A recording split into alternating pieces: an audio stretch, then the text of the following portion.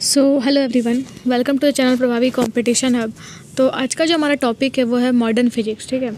तो सबसे पहला क्वेश्चन है इसमें in the context of LED what does D stand for मतलब अगर ये क्वेश्चन में आपको डी का मतलब एलईडी का अगर फुल फॉर्म पता है तो आप इजीली बता दोगे, ठीक है?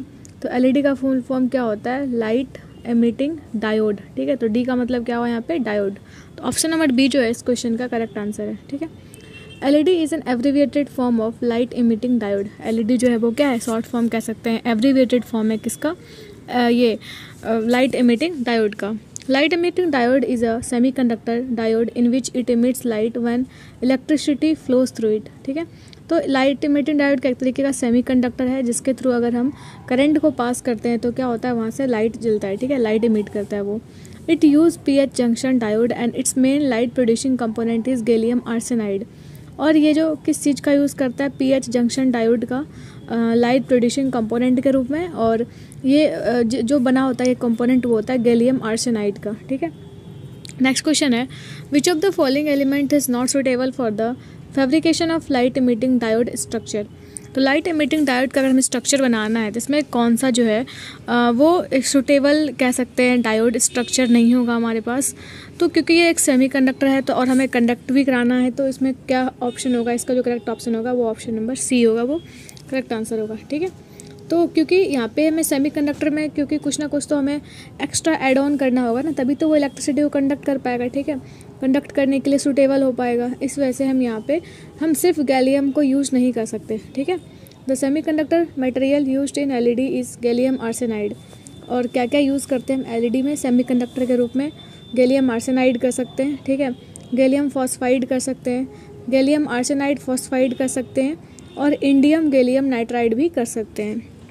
नेक्स्ट क्वेश्चन है for photoelectric effect to take place the metal use as the cathode should have तो अगर फ़ोटो इलेक्ट्रिक इफ़ेक्ट हमें कराना है, ठीक है? तो कैथोड में कौन सा मेटल हमें यूज़ करना होगा, किस टाइप का? तो वैसा मेटल हमें यूज़ करना होगा जिसका जो वर्क फ़ंक्शन है ना, वो लो है, ठीक है?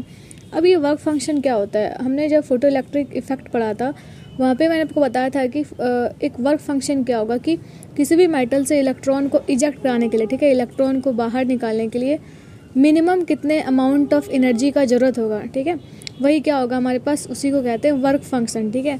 जिसको हम डिनोट करते हैं साई से या फिर आप डब्लू से भी डिनोट करते हैं डब्लू नॉट ठीक है? इसकी जो वैल्यू होती है, वो होती है हमारे पास एच न्यू नॉट ठीक है? और वो न्यू नॉट ही क्या है? मिनिमम फ्रीक्वेंसी जिस लाइट की, जिससे क्या होगा? उस पर्टिकुलर मेटल से पर्टिकुलर कंडक्टर से इलेक्ट्रॉन इजेक्ट होगा, ठीक है? तो यहाँ पे लो वर्क फ़ंक्शन रहेगा, तभी वहाँ पे इजीली जो है इलेक्ट्रॉन्स इमिट हो पाएँगे। तो photoelectric effect is a tendency of electromagnetic radiations to emit electrons from a given substance तो फ़ोटो इलेक्ट्रिक इफ़ेक्ट क्या है? किसी भी सब्सटेंस की वो प्रॉपर्टी जिसके वजह से क्या करता है, वहाँ पे हम किसी एक अदर लाइट के हेल्प से उससे इलेक्ट्रॉन्स को इजेक्ट कराते हैं, ठीक है? इसी को कहते हैं photoelectric effect the metal which is use as a cathode should have low work function और जो मेटल का हम यूज़ करेंगे फ़ोटो इलेक्ट्रिक इफ़ेक्ट में, उसका जो वर्क फ़ंक्शन है ना, वो लो होना चाहिए, ठीक है? नेक्स्ट क्वेश्चन है which of the following is false with reference to a photocell तो फ़ोटो वोल्टेक सेल के बारे में कौन सा जो है वो स्टेटमेंट वो गलत है, ठीक है? पहला तो है its another name is solar cell तो सोलर सेल क्या होता है? जो कि जहाँ पे मतलब सनलाइट के हेल्प से क्या करते हैं हम एनर्जी प्रोड्यूस करते हैं, ठीक है? तो ये सही है, उसको हम फ़ोटो वोल्टेक सेल ही कहते हैं। It can be use as infra infrared detectors ठीक है? इसका हम यूज़ कर सकते हैं इंफ्रारेड डिटेक्टर्स के लिए, के रूप में भी, ये भी बिल्कुल सही है। It can store light energy in the form of electrical energy ये तो ये तो इसका प्रिंसिपल ही है, ठीक है? कोई फ़ोटो कोई भी अगर फ़ोटो वोल्टेक सेल है या फिर सोलार सेल है, वो क्या करेगा? सनलाइट को इलेक्ट्रिकल एनर्जी में कन्वर्ट करेगा, ठीक है? और उसको स्टोर करके रखेगा। नेक्स्ट है it converts electrical energy into light energy अब ये बोल रहा है कि ये इलेक्ट्रिकल एनर्जी को लाइट एनर्जी में कन्वर्ट करता है? नहीं। ये लाइट एनर्जी को इलेक्ट्रिकल एनर्जी में कन्वर्ट करता है, ठीक है? ये दोनों ऑप्शन के दूसरे के कॉन्ट्राडिक्टरी हैं, ठीक है? तो यहाँ पे ऑप्शन जो मैं डी जो है, वो करेक्ट आंसर होगा। मीन्स ये फॉल्स स्टेटमेंट है, ठीक है? Voltaic panels are a package interconnected combination of solar cells also known as photovoltaic cell तो फ़ोटो वोल्टाइक पैनल क्या है? एक पूरा कह सकते हैं, एक कॉम्बिनेशन होता है सोलर सेल का, ठीक है? जिसको हम फ़ोटो वोल्टाइक सेल भी कहते हैं। Solar panels are use as a component in a large photovoltaic system to provide electricity for commercial and residential use अब हम सोलर पैनल वगैरह कहाँ पे लगाते हैं? तो रेसिडेंशियल पर्पज़ के लिए लगाते हैं। अदरवाइज़ एक लार्ज स्केल पे हम किसी भी कोई कॉमर्शियल प्लेस है, वहाँ पे भी लगा सकते हैं, ठीक है? Solar cell is also use as an infrared detector solar cell को हम एज अ इंफ्रारेड डिटेक्टर के रूप में भी यूज़ करते हैं। It can store solar energy as chemical energy and convert this energy into electrical energy तो solar cell जो है, वो क्या करता है? केमिकल एनर्जी को, के रूप में जो है इन सोलर एनर्जी को मीन्स लाइट एनर्जी को स्टोर करता है और इस एनर्जी को वो इलेक्ट्रिकल एनर्जी में कन्वर्ट करता है फर्दर ठीक है? Which of the following is not true about X rays तो एक्सरे के बारे में क्या मतलब सही चीज़ नहीं है, ठीक है? कौन सा मतलब गलत है, ठीक है? तो एक्सरे जो है हैव लो पेनेट्रेटिंग पावर तो एक्सरे के पास क्या पेनेट्रेटिंग पावर लो होता है? नहीं, बिल्कुल नहीं। इसकी जो पेनेट्रेटिंग पावर होती है, वो काफ़ी हाई होती है, ठीक है? तो ये ऑप्शन जो है गलत हो गया तो करेक्ट ऑप्शन हमारा ए ही हो जाएगा, ठीक है? और travel with speed of light obviously X ray भी एक इलेक्ट्रोमैग्नेटिक वेव की तरह ही वर्क करता है तो ये स्पीड ऑफ़ लाइट से ही ये ट्रैवल करेगा। कैन बी रिफ्लेक्टेड और रिफ्लेक्टेड ये भी सही है। कैन अफेक्ट फोटोग्राफिक प्लेट्स ये भी बिल्कुल सही है, ठीक है? X rays are electromagnetic radiation of light X ray भी क्या है? एक इलेक्ट्रोमैग्नेटिक रेडिएशन ऑफ़ लाइट ही है ई एम वेव ही है ठीक है? इसको डिस्कवर किसने किया था? रॉन्टगेन ने, ठीक है? X rays have wavelength from ten to power minus ten metre to ten to power minus eight metre अब ही एक्सरे की जो वेवलेंथ है, वो कितनी होती है? ये होती है ten to power minus ten metre to ten to power minus eight metre ठीक है? और इसकी फ्रीक्वेंसी कहाँ से कहाँ तक होती है? Ten to power eighteen hertz से लेके ten to power sixteen hertz ठीक है? This rays can affect the effect the photography plate and have their have high resolution capability तो ये जो रेज है ना, ये फोटोग्राफिक प्लेट को इफ़ेक्ट कर सकता है और इसकी जो रेजोल्यूशन कैपेबिलिटी होती है, वो काफ़ी हाई होती है। क्योंकि इसलिए हम एक्सरे वगैरह करते हैं जाके हम बॉडी स्कैन करने के लिए, ठीक है? मतलब कोई भी अगर बॉडी पार्ट डिफेक्ट हुआ है तो हम उसको पता लगाने के लिए एक्सरे का ही यूज़ करते हैं। The reason behind this is कि इसका पेनेट्रेटिंग पावर काफ़ी हाई होता है, ठीक है? It can penetrate one metre thick aluminium plate मतलब इतनी स्ट्रांग होती है एक्सरे की ये वन मीटर जो थिकनेस वाली जो है ना एल्यूमिनियम प्लेट उसको भी वो पेनेट्रेट कर सकता है। X rays can be both reflected और रिफ्रैक्टेड ठीक है? नेक्स्ट क्वेश्चन है एवरी हॉट ऑब्जेक्ट इमिट्स तो जितने भी गर्म ऑब्जेक्ट्स हैं, ठीक है हॉट ऑब्जेक्ट हैं, वो क्या इमिट करते हैं? And they emit infrared rays ठीक है? इंफ्रारेड रेस ये इमिट करते हैं। Infrared rays were discovered by William Herschel तो इंफ्रारेड रे को डिस्कवर किसने किया था? विलियम हर्शल ने। These waves are generated by heating the material at high temperature तो जो इंफ्रारेड वेव्स हैं, ये कैसे रिलीज़ होते हैं, ठीक है? कैसे मतलब जनरेट होते हैं? जब किसी भी मटेरियल को बहुत ही हाई टेम्परेचर में हीट करते हैं, ठीक है? This rays are use to send signals for and white during the war तो इस रे का यूज़ का, कहाँ पे क्या आता था? ये इंफ्रारेड वेव्स का सिग्नल्स को ट्रांसमिट करने के लिए। Its wavelength ranges from ten to power minus three metre to seven point eight into ten to power minus seven metre इसकी जो वेवलेंथ है, वो इस रेंज में लाई करती है। X-rays were discovered by Roentgen it is use in medical field तो x ray को डिस्कवर किसने किया था? रॉन्टगेन ने किया था। और इसका यूज़ हम कहाँ करते हैं? मेडिकल फ़ील्ड में करते हैं, ठीक है? बॉडी पार्ट्स का एक्सरे वगैरह करने में। Visual radiation discovered by Newton अब क्वेश्चन जैसे कि एक्सरे की डिस्कवरी किसने की थी? तो ये क्वेश्चन आया था जब हमने, मैंने जब मैंने ट्वेल्थ का एग्ज़ाम दिया था ना, उस टाइम में ये आया था मतलब बोर्ड्स के एग्ज़ाम में, ठीक है? फिजिक्स में, कि एक्सरे को डिस्कवर किसने किया था? क्योंकि फोटोलैक्टिक इफ़ेक्ट वगैरह ट्वेल्थ में ही है। तो इसमें मतलब एक्सरे का डिस्कवरी किसने किया था? रॉन्टगेन ने किया। तो ये कॉम्पिटिशन में पूछ सकता है, ठीक है? और विजिबल रेडिएशन का डिस्कवर किसने किया था? न्यूटन ने। Reflection interference refraction etc properties are found in visible radiation तो विजुअल रेडिएशन ही जो वो क्या कर सकता है? रिफ्लेक्शन की प्रॉपर्टी शो करता है इंटरफेरेंस रिफ्रैक्शन ये सब जो प्रॉपर्टी है वो विजिबल रेडिएशन शो करता है। Ozone layer protects from UV rays तो हमें जो जैसे कि सन, जैसे कि सन है ऐसा ना?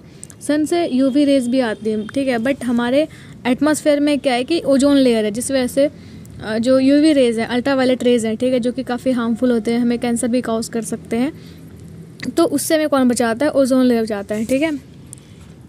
नेक्स्ट बढ़ते हैं। Which of the following is the correct order of electromagnetic radiation arranged in order of increasing frequency अगर हम फ्रीक्वेंसी के फॉर्म में अगर हम अरेंज करें अलग अलग डिफरेंट डिफरेंट लाइट्स को तो वो किस तरीके से अरेंज होंगे, ठीक है? तो पहला तो इसमें हमारे पास है कि microwave visual light x-ray long radio waves ठीक है? तो इन सब में जो करेक्ट ऑप्शन है, वो है हमारे पास ऑप्शन नंबर सी ठीक है? सबसे कम जो वेवलेंथ मतलब फ्री सबसे कम जो फ्रीक्वेंसी होती है वो होती है रेडियो वेव्स की। फिर माइक्रोवेव्स की विजुअल लाइट की देन एक्सरे की, ठीक है? तो इलेक्ट्रोमैग्नेटिक वेव्स के यहाँ पे हमारे पास लिस्ट दिया हुआ है और सबकी फ्रीक्वेंसी दी हुई है। फ्रीक्वेंसी ज़्यादा मैटर नहीं करता, बस ये पता होना चाहिए कि उसकी लाइक रेंज क्या है, ठीक है? रेंज क्या है? एग्जैक्ट वैल्यू नहीं पता करनी, है ना? और उसका ऑर्डर भी याद रहे तो क्वेश्चन बन जाते हैं। तो लॉन्ग रेडियो वेव्स की frequency ten three power six से लेकर ten three power four hertz ठीक है? हर्ट्स क्या होती है? ये यूनिट है किसकी? फ्रीक्वेंसी को मेजर करने की। नेक्स्ट है माइक्रो रेडियो वेव्स ठीक है? तो माइक्रो रेडियो वेव्स जो है, इसकी फ्रीक्वेंसी लाई करती है टेन थ्री पावर टेन से लेकर के ten three power eight hertz तक। विजिबल लाइट की टेन थ्री पावर फोर्टीन से टेन पावर ट्वेल्व हर्ट्स ठीक है? और एक्सरे की एक्सरे की टेन पावर एटीन से टेन पावर सिक्सटीन ठीक है, जो कि काफ़ी हाई है। इससे भी हाई जो होती है ना, वो फ्रीक्वेंसी होती है गामा रेस की जो होती है टेन पावर टू से लेकर टेन पावर एटीन हर्ट्स तक, ठीक है? Increasing order of the frequency of the given option is पहले सबसे कम होगा रॉन्ग रेडियो वेव्स फिर माइक्रो रेडियो वेव्स फिर visible light and then x rays next question है the American scientist Edwin Hubble's name is associated with which of this theories तो जो American scientist हैं, एडविन हबल, ठीक है? इनको, इनका नाम हम किस लिए रिलेट करते हैं, ठीक है? इनका नाम आता है किसमें द बिग बैंग थ्योरी को देने में, ठीक है? एडविन हबल जैसे कि हबल्स, जेम्स हबल टेलीस्कोप भी है, जैसे आपने, आप कभी करंट अफेयर में सुनते होंगे, ठीक है? कि ये ऐसी फ़ोटोज़ ली है ना, इस तरीके से, कि स्पेस में। तो ये जेम्स हवल जो है मतलब ये एडविन हवल जो है ना, ये इनका नाम है, किससे आता है? बिग बैंग थ्योरी से, ठीक है? नेक्स्ट क्वेश्चन है who establish the foundation of the quantum theory तो क्वांटम थ्योरी का जो पूरा फाउंडेशन है बेस है, ये किसने मतलब दिया था, ठीक है? वो था, वो थे हमारे मैक्स प्लैंक ठीक है? Max Planck establish the foundation of quantum theory theory ठीक है? आपने पढ़ा होगा, ये ई इक्वल टू क्या होता है? Energy equal to h nu जहाँ पे एच क्या है? ये प्लैंक्स कॉन्स्टेंट ही होता है, ठीक है? तो ये काफ़ी कॉन्ट्रीब्यूशन इनका मतलब क्वांटम थ्योरी में, ठीक है? नेक्स्ट टॉपिक हमारे पास nuclear physics what was the code given to the first nuclear test of Pokhran in 1974 तो जो 1974 में इंडिया में पहला न्यूक्लियर टेस्ट हुआ था, ठीक है? उसका कोड नेम क्या दिया गया था? तो वो था स्माइलिंग बुद्धा ठीक है? ऑल तो ये फेल हो गया था बट स्टिल हमने फिर अगेन ट्राई करा, ठीक है? तो नाइनटीन में तब वहाँ पे हम सक्सेसफुल हुए थे। तो स्माइलिंग बुद्धा जो है, ये कोड नेम था फ़र्स्ट टाइम में, ठीक है? फ़र्स्ट न्यूक्लियर टेस्ट जो कि पोखरण में 1974 में हुआ था। Which of the following electromagnetic waves is produce during radioactive decay of the nucleus तो जब भी रेडियो एक्टिव डीके होता है रेडियो एक्टिव डीके का क्या मतलब हुआ? कि कोई भी अगर रेडियो एक्टिव सब्सटेंस है, अब रेडियो एक्टिव सब्सटेंस किसको बोलते हैं? मीन्स जिससे रेडियो वेव्स रिलीज़ होती है ना तो जब किसी भी रेडियो एक्टिव सब्सटेंस से रेडियो वेव्स रिलीज़ होती है, उस प्रोसेस को हम कहते हैं रेडियो एक्टिव डीके ठीक है? मतलब उसका डीके हो रहा है, किसी से किस, अंदर से कुछ निकल रहा है मीन्स क्या? वो उसका, वो ख़त्म हो रहा है ना, वो डीके हो रहा है, ठीक है? तो रेडियो एक्टिव डीके में क्या होता है न्यूक्लियस से क्या निकलता है? रेडियो वेव्स रिलीज़ होती है, ठीक है? नेक्स्ट क्वेश्चन हमारे पास which one of the following takes place during a nuclear fusion तो जब भी न्यूक्लियर फ्यूजन होता है, ठीक है, उस टाइम में कौन सा मतलब प्रोसेस होता है, ठीक है? तो न्यूक्लियर फ्यूजन में फ्यूजन का मतलब ही होता है जुड़ना, ठीक है एड ऑन होना। तो दो जो लाइट न्यूक्लियाई हैं, वो कंबाइन करके एक हैवी न्यूक्लियस में कन्वर्ट होते हैं जब न्यूक्लियर फ्यूजन होता है, ठीक है? One two light nuclei combine to form a nucleus of a heavier element this process is called nuclear fusion जब भी कोई लाइट न्यूक्लियाई जो है, दोनों कंबाइन करके एक कोई हैवियर एलिमेंट में कन्वर्ट होता है, उसी प्रोसेस को हम क्या कहते हैं? न्यूक्लियर फ्यूज़न कहते हैं। In this process release energy because the total mass of the resulting single nucleus is less than the mass of two original nuclei.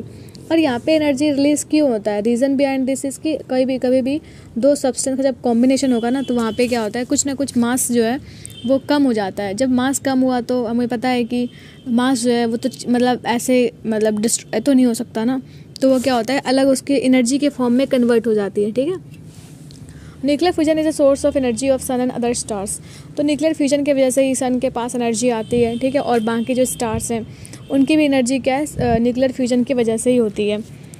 In a nuclear reactor what role does the moderator play जितने भी nuclear reactors होते हैं, उसमें क्या होता है, एक moderator लगा होता है। मॉडरेटर का काम क्या है, ठीक है?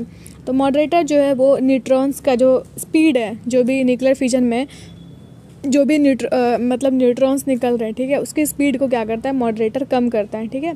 It slows down the neutrons release from fusion ठीक है? Nuclear energy is use for constructive work by nuclear reactor it uses thorium uranium two thirty five plutonium as a fuel and cadmium और boron is use to control the chain of fission and heavy water is used to slow down the speed of released neutron in a nuclear fission worked as a moderator. तो nuclear energy क्या है? Nuclear energy को हम use करते हैं nuclear reactors में, ठीक है? और न्यूक्लियर फ्यूज़न या फ्यूज़न होता किसका जितने भी रेडियो एक्टिव एलिमेंट है, उनका होता है, ठीक है? Radioactive element means like thorium हो गया यूरेनियम हो गया, ठीक है? प्लूटोनियम हो गया, ठीक है? और इसमें हम यूज़ करते हैं फ्यूज़न को कंट्रोल करने के लिए कैडमियम या फिर बोरॉन रेड का, ठीक है? और हैवी वाटर का यूज़ करते हैं फॉर लाइक कि अगर कोई भी न्यूट्रॉन है, उसके स्पीड को कम करना है स्लो डाउन करना है तो हम यहाँ पे यूज़ करते हैं। Nuclear fusion work as a moderator ठीक है? Which of the which of the following is not use in nuclear reactors as a neutron absorbing substance तो कौन सा जो है सब्सटेंस इसका यूज़ नहीं करते हैं as a neutron absorbing substance neutron absorb करने का क्या मतलब है कि ये क्या कर रहा है? मेनली न्यूट्रॉन्स को ख़त्म कर रहा है, ठीक है? उसको स्लो डाउन करके है ना, उसको ख़त्म कर रहा है। तो ये होता है, हम यहाँ पे हेफनियम का यूज़ करते हैं बोरोन का करते हैं बट हम कैडमियम का यूज़ भी करते हैं बट हम आयरन का यूज़ नहीं करते, ठीक है? तो ऑप्शन नंबर डी जो इसमें करेक्ट ऑप्शन होगा। From the given option iron is not use as a neutron absorbing material in nuclear reactors ठीक है? तो इसमें न्यूक्लियर रिएक्टर्स में हम आयरन का यूज़ नहीं करते हैं as a neutron absorbing substance ठीक है? बल्कि हम क्या, किसका यूज़ करते हैं? हैपनियम बोरोन कैडमियम इन सब के रॉड का यूज़ करते हैं। टू एब्जॉर्ब द न्यूट्रॉन्स ठीक है? अब एब्जॉर्ब न्यूट्रॉन को करना क्यों ज़रूरी है? क्योंकि जब भी ये न्यूक्लियर रिएक्शंस होते हैं, ठीक है? तो उसमें large number of neutrons release होते हैं, ठीक है? अब large number of neutrons release हो रहे हैं और वो मल्टीपल्स में मतलब निकलते जाते हैं। दो है दो से चार चार से सोलह सोलह से टू फिफ्टी सिक्स तो इस तरीके के मल्टीपल में निकलता है। तो अगर हम इसे कंट्रोल नहीं करेंगे तो वो रिएक्शन ही हमारे से कंट्रोल नहीं होगा, ठीक है? इस वजह से हम, हमें क्या करना होता है, वो कंट्रोल करना होता है, ठीक है? मतलब न्यूट्रॉन्स को एब्जॉर्ब करना होता है। Which of the following substance is not use as coolant in nuclear reactor तो कूलेंट के रूप में हम क्या यूज़ नहीं करते न्यूक्लियर रिएक्टर्स में, ठीक है? तो हम हैवी वाटर का यूज़ करते हैं लिक्विड सोडियम का भी करते हैं कार्बन डाइऑक्साइड का भी करते हैं बट ग्रेफाइट का यूज़ नहीं करते हैं एज अ कूलेंट ठीक है? Coolant use in nuclear reactor तो न्यूक्लियर रिएक्टर में कौन कौन सा कूलेंट के रूप में यूज़ करते हैं? बॉइलिंग वाटर में कर सकते हैं प्रेशराइज वाटर रिएक्टर में एच टू ओ यूज़ करते हैं हम। हैवी वाटर रिएक्टर में हम डी टू ओ मीन्स हो गया D two O deuterium dioxide ठीक है? फिर फास्ट न्यूट्रॉन रिएक्टर में लिक्विड सोडियम ठीक है? गैस रिएक्टर में कार्बन डाइऑक्साइड मीन्स अलग अलग टाइप के रिएक्टर्स में अलग अलग टाइप का क्या होता है? हमारे पास कूलेंट होता है, ठीक है? वाइल हैवी वाटर और graphite is use to slow down the speed of neutrons in the fusion process in the reactor तो हैवी वाटर या फिर ग्रेफाइट जो है, इसका हम यूज़ करते हैं एज अ मॉडरेटर ठीक है? ना कि कूलेंट आगे बढ़ते हैं। नेक्स्ट क्वेश्चन है which was India's first nuclear reactor India का पहला जो न्यूक्लियर रिएक्टर था, वो उसका नाम क्या था? ठीक है तो उसका नाम था अप्सरा ठीक है? और पहला जो हमने न्यूक्लियर जो रिएक्शन या क्या करवाया था न्यूक्लियर टेस्ट जो करा था, उसका नाम क्या था? कोड नेम इस्माइलिंग बुद्धा ठीक है, जो हमने पोखरन में करा था, ठीक है? तो पहला जो न्यूक्लियर रिएक्टर है, इसका नाम था अप्सरा ठीक है? India's first nuclear reactor is Apsara it was inaugurated by first prime minister of India Jawaharlal Nehru in nineteen six at the Trombay campus of Bhabha atomic research. तो बार्क जो है, ठीक है भाभा एटॉमिक रिसर्च, वहाँ पे मतलब इसको inaugurate किया गया था जो हमारे फ़र्स्ट प्राइम मिनिस्टर थे जवाहरलाल नेहरू। उनके, उन्होंने ही इनाग्रेट किया था 1956 में, ठीक है? और इसका नाम क्या था? अप्सरा, ठीक है? और ये बार्क के कैंपस में ही मतलब इसको इनाग्रेट किया था।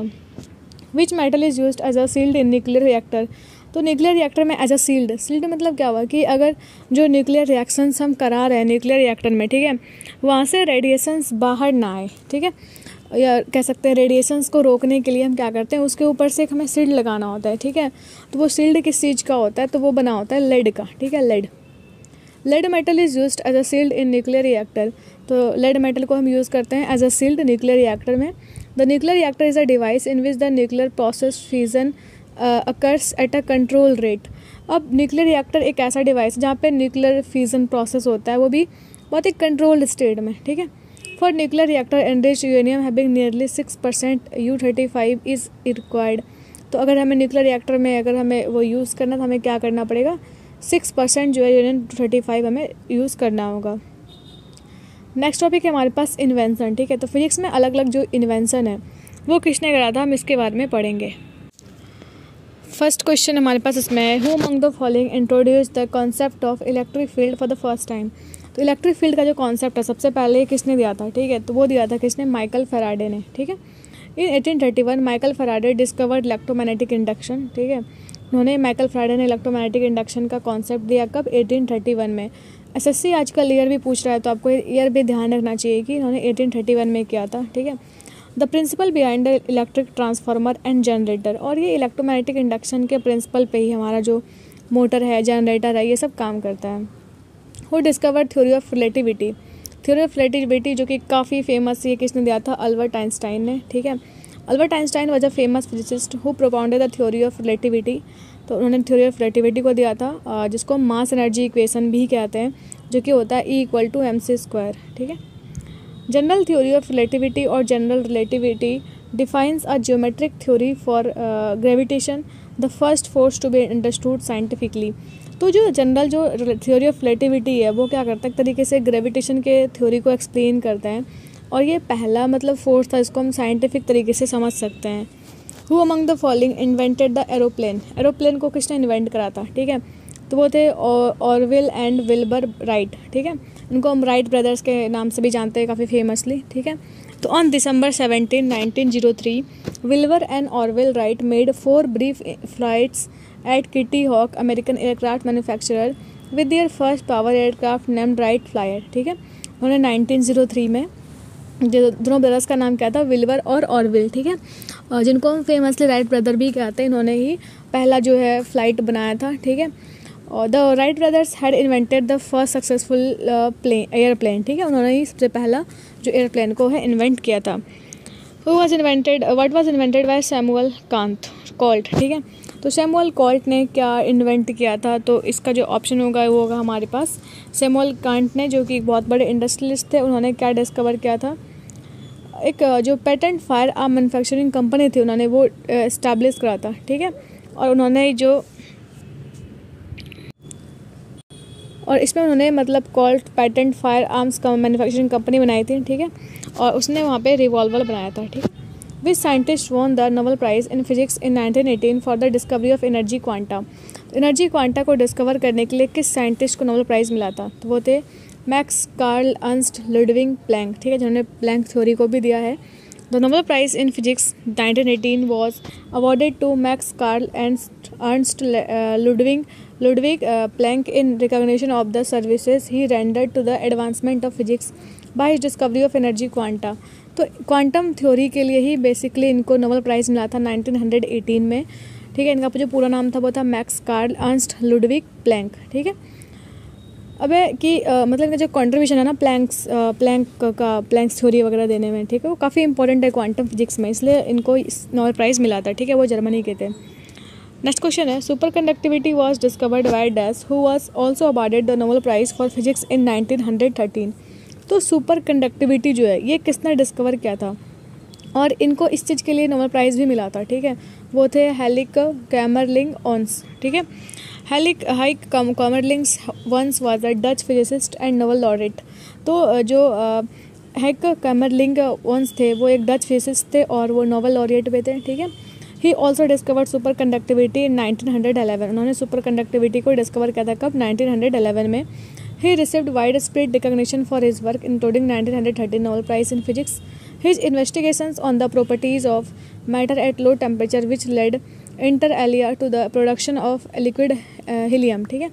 उनको 1913 में अपनी डिस्कवरी के लिए क्या नोबल प्राइज़ तो मिला ही, ठीक है? इनके, इसके अलावा उनका काफ़ी कंट्रीब्यूशन है अलग अलग मैटर के प्रॉपर्टीज़ पे डिस मतलब स्टडी करने के लिए, वो भी काफ़ी लो टेम्परेचर पे, ठीक है?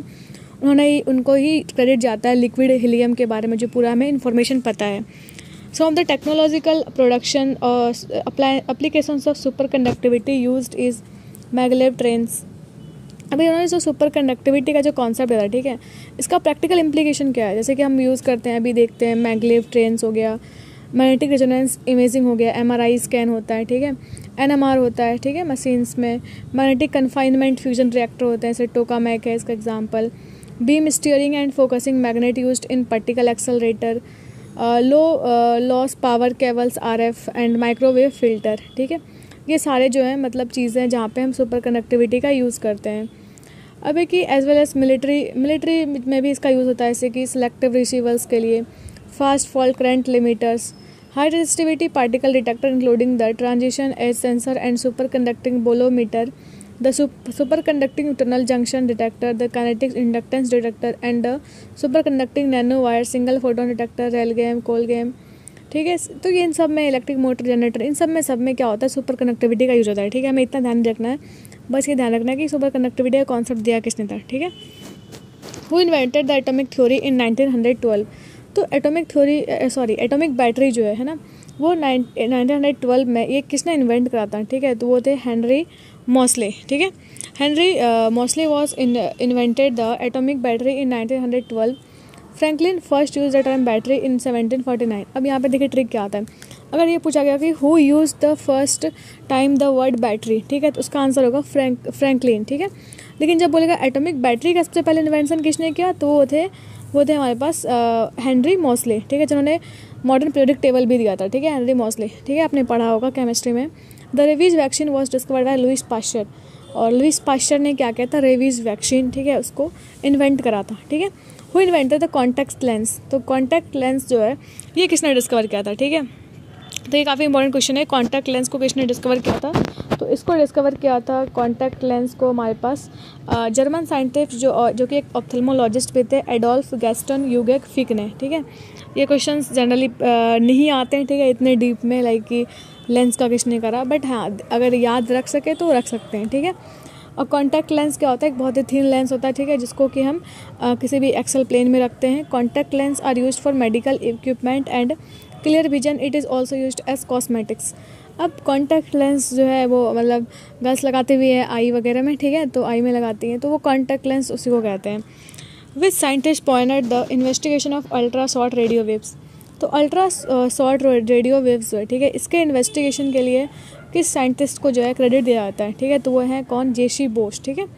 Jagdish Chandra Bose. Short radio waves were invented by the famous Indian scientist Jagdish Chandra Bose ठीक है? तो शॉर्ट रेडियो वेव्स का इन्वेंशन है, इसका क्रेडिट किसको जाता है? हमारे जो फ़ेमस इंडियन साइंटिस्ट हैं, जगदीश चंद्र बोस को। J C Bose also worked in the field of microwave इनका जो कॉन्ट्रीब्यूशन है, वो माइक्रोवेव के फ़ील्ड में भी है। He greatly improve the Hertz detect by generating superfluous waves ठीक है? नेक्स्ट क्वेश्चन है bifocal lens was invented by which scientist तो बाईफोकल लेंस जो है, ये किसने डिस्कवर करा था? ठीक है, ये करा था किसने? बेंजामिन फ्रैंकलिन ने। किसने कहा था? बेंजामिन फ्रैंकलिन तो bifocal lens was invented by Benjamin Franklin अब देखिए बाईफोकल लेंस क्या होता है? जिसमें कि कॉनकेव भी हो और कॉन कॉन्वेक्स भी लगा हो जनरली आई का एक डिजॉर्डर होता है, इसको हम कहते हैं प्रेस बायोपिया ठीक है? जनरली ये ओल्ड एज आने के बाद होता है। तो प्रेस बायोपिया में क्या होता है कि हम बाईफोकल लेंस लगाना पड़ता है उस डिफेक्ट को करेक्ट करने के लिए। तो प्रेस बायोपिया है due to the old age the ability of the eye to naturally change the focus decreases क्योंकि जब प्रेस बायोपिया होगा तो क्या होता है ना कि वो फोकस करने की जो नेचुरल एबिलिटी है ना, वो कम हो जाती है, ठीक है? इसलिए पर्सन जो है ना दूर का ही देख पाता है, ना ही वो उनको नज़दीक का भी अच्छे से दिखता है, ठीक है? तो बाईफोकल लेंस का फिर यूज़ करके हम उसको करेक्ट कर सकते हैं। इसको यूज़ करते हैं for the prevention of myocardial defects ठीक है? नेक्स्ट क्वेश्चन है who invented the video game console तो वीडियो वीडियो गेम जो कंसोल होता है, ठीक है? जैसे कि हम कहते हैं नाम जैसे कि हम कहते हैं, ठीक है पी एस फाइव वगैरह, ठीक है तो अभी ये चीज़ें हैं। तो वीडियो गेम सबसे पहले कंसोल वो किसने मतलब बनाया था, ठीक है, वो थे राल्फ एच बेयर ठीक है? तो यहाँ पे कुछ जो पर्सन उनका नाम दिया हुआ, उनकी जो इन्वेंशन है, उसके बारे में दिया गया पहला है रेल्फ एच बेयर ठीक है रेल्फ एच बेयर जो है, उन्होंने दिया था वीडियो गेम कंसोल का इन्वेंशन किया था। अल्फ्रेड बाइनेट इन्होंने इन्वेंट किया था बाइनेट सैमन स्केल जिसको, जैसे कि हम आईक्यू टेस्ट को मेजर करते हैं। हैंस बर्गर जिन्होंने दिया था इलेक्ट्रो इंसेफ्लोग्राफ ठीक है? ईईजी लेस्जलो बायरो ठीक है? इन्होंने बॉल पॉइंट पेन का जो है इन्वेंशन किया था ठीक है? नेक्स्ट है who is universally credited with inventing the barometer in sixteen forty three तो बैरोमीटर का जो इन्वेंशन है वो किसने करा था? वो क्या था टोरी शेली ने ठीक है? तो इवन गलिस्टा टोरी शेली ने, ने किया था बैरोमीटर का इन्वेंशन 1643 में ठीक है? A barometer is an atmospheric pressure measuring instrument. It was discovered by Evangelista Torricelli in 1643 AD तो बैरोमीटर जो है, इसका हम यूज़ कहाँ पे करते हैं? एटमॉस्फेरिक प्रेशर को मेज़र करने के लिए। इसको डिस्कवर किसने किया था? इवन गैलिस्टा टोरिशेली ने 1643 में। Christian Huygens is known for his discovery of the pendulum clock and the wave theory of light तो ये जो क्रिश्चियन हाइजेंस है, ठीक है? अपने हाइजन प्रिंसिपल पढ़ा होगा, ठीक है? उन्होंने लाइट की थ्योरी वेव थ्योरी को दिया था। In 1932 James Chadwick discovered neutrons तो जेम्स सेडविक ने न्यूट्रॉन की डिस्कवरी की थी। Max Steenbeck and Ernst O Lawrence discover the cyclotron cyclotron को किसने डिस्कवर किया था? मैक्स ये अर्नस्ट ओ लॉरेंस ने, ठीक है? It is an accelerating device of charge particles जैसे इलेक्ट्रॉन प्रोटॉन्स तो साइक्लोट्रॉन क्या होता है? एक एक्सलेटिंग डिवाइस है जो कि किसका एक्सेलेटिंग डिवाइस है? इलेक्ट्रॉन प्रोटॉन और न्यूट्रॉन्स का। ठीक है? तो हम नेक्स्ट पढ़ेंगे। सो so, नाउ जो हमारा अब इन्वेंशन वाला जो पार्ट है ठीक है उसको आगे बढ़ाते हैं। इसमें क्वेश्चन है बैरोमीटर वॉज़ इन्वेंटेड बाय तो बैरोमीटर को किसने इन्वेंट करा था? तो बैरोमीटर क्या है? बैरोमीटर एक ऐसा इंस्ट्रूमेंट है जिससे कि हम क्या करते हैं? प्रेशर को मेज़र करते हैं ठीक है? एटमॉस्फेरिक प्रेशर को अगर हम स्पेसिफिकली बोले तो।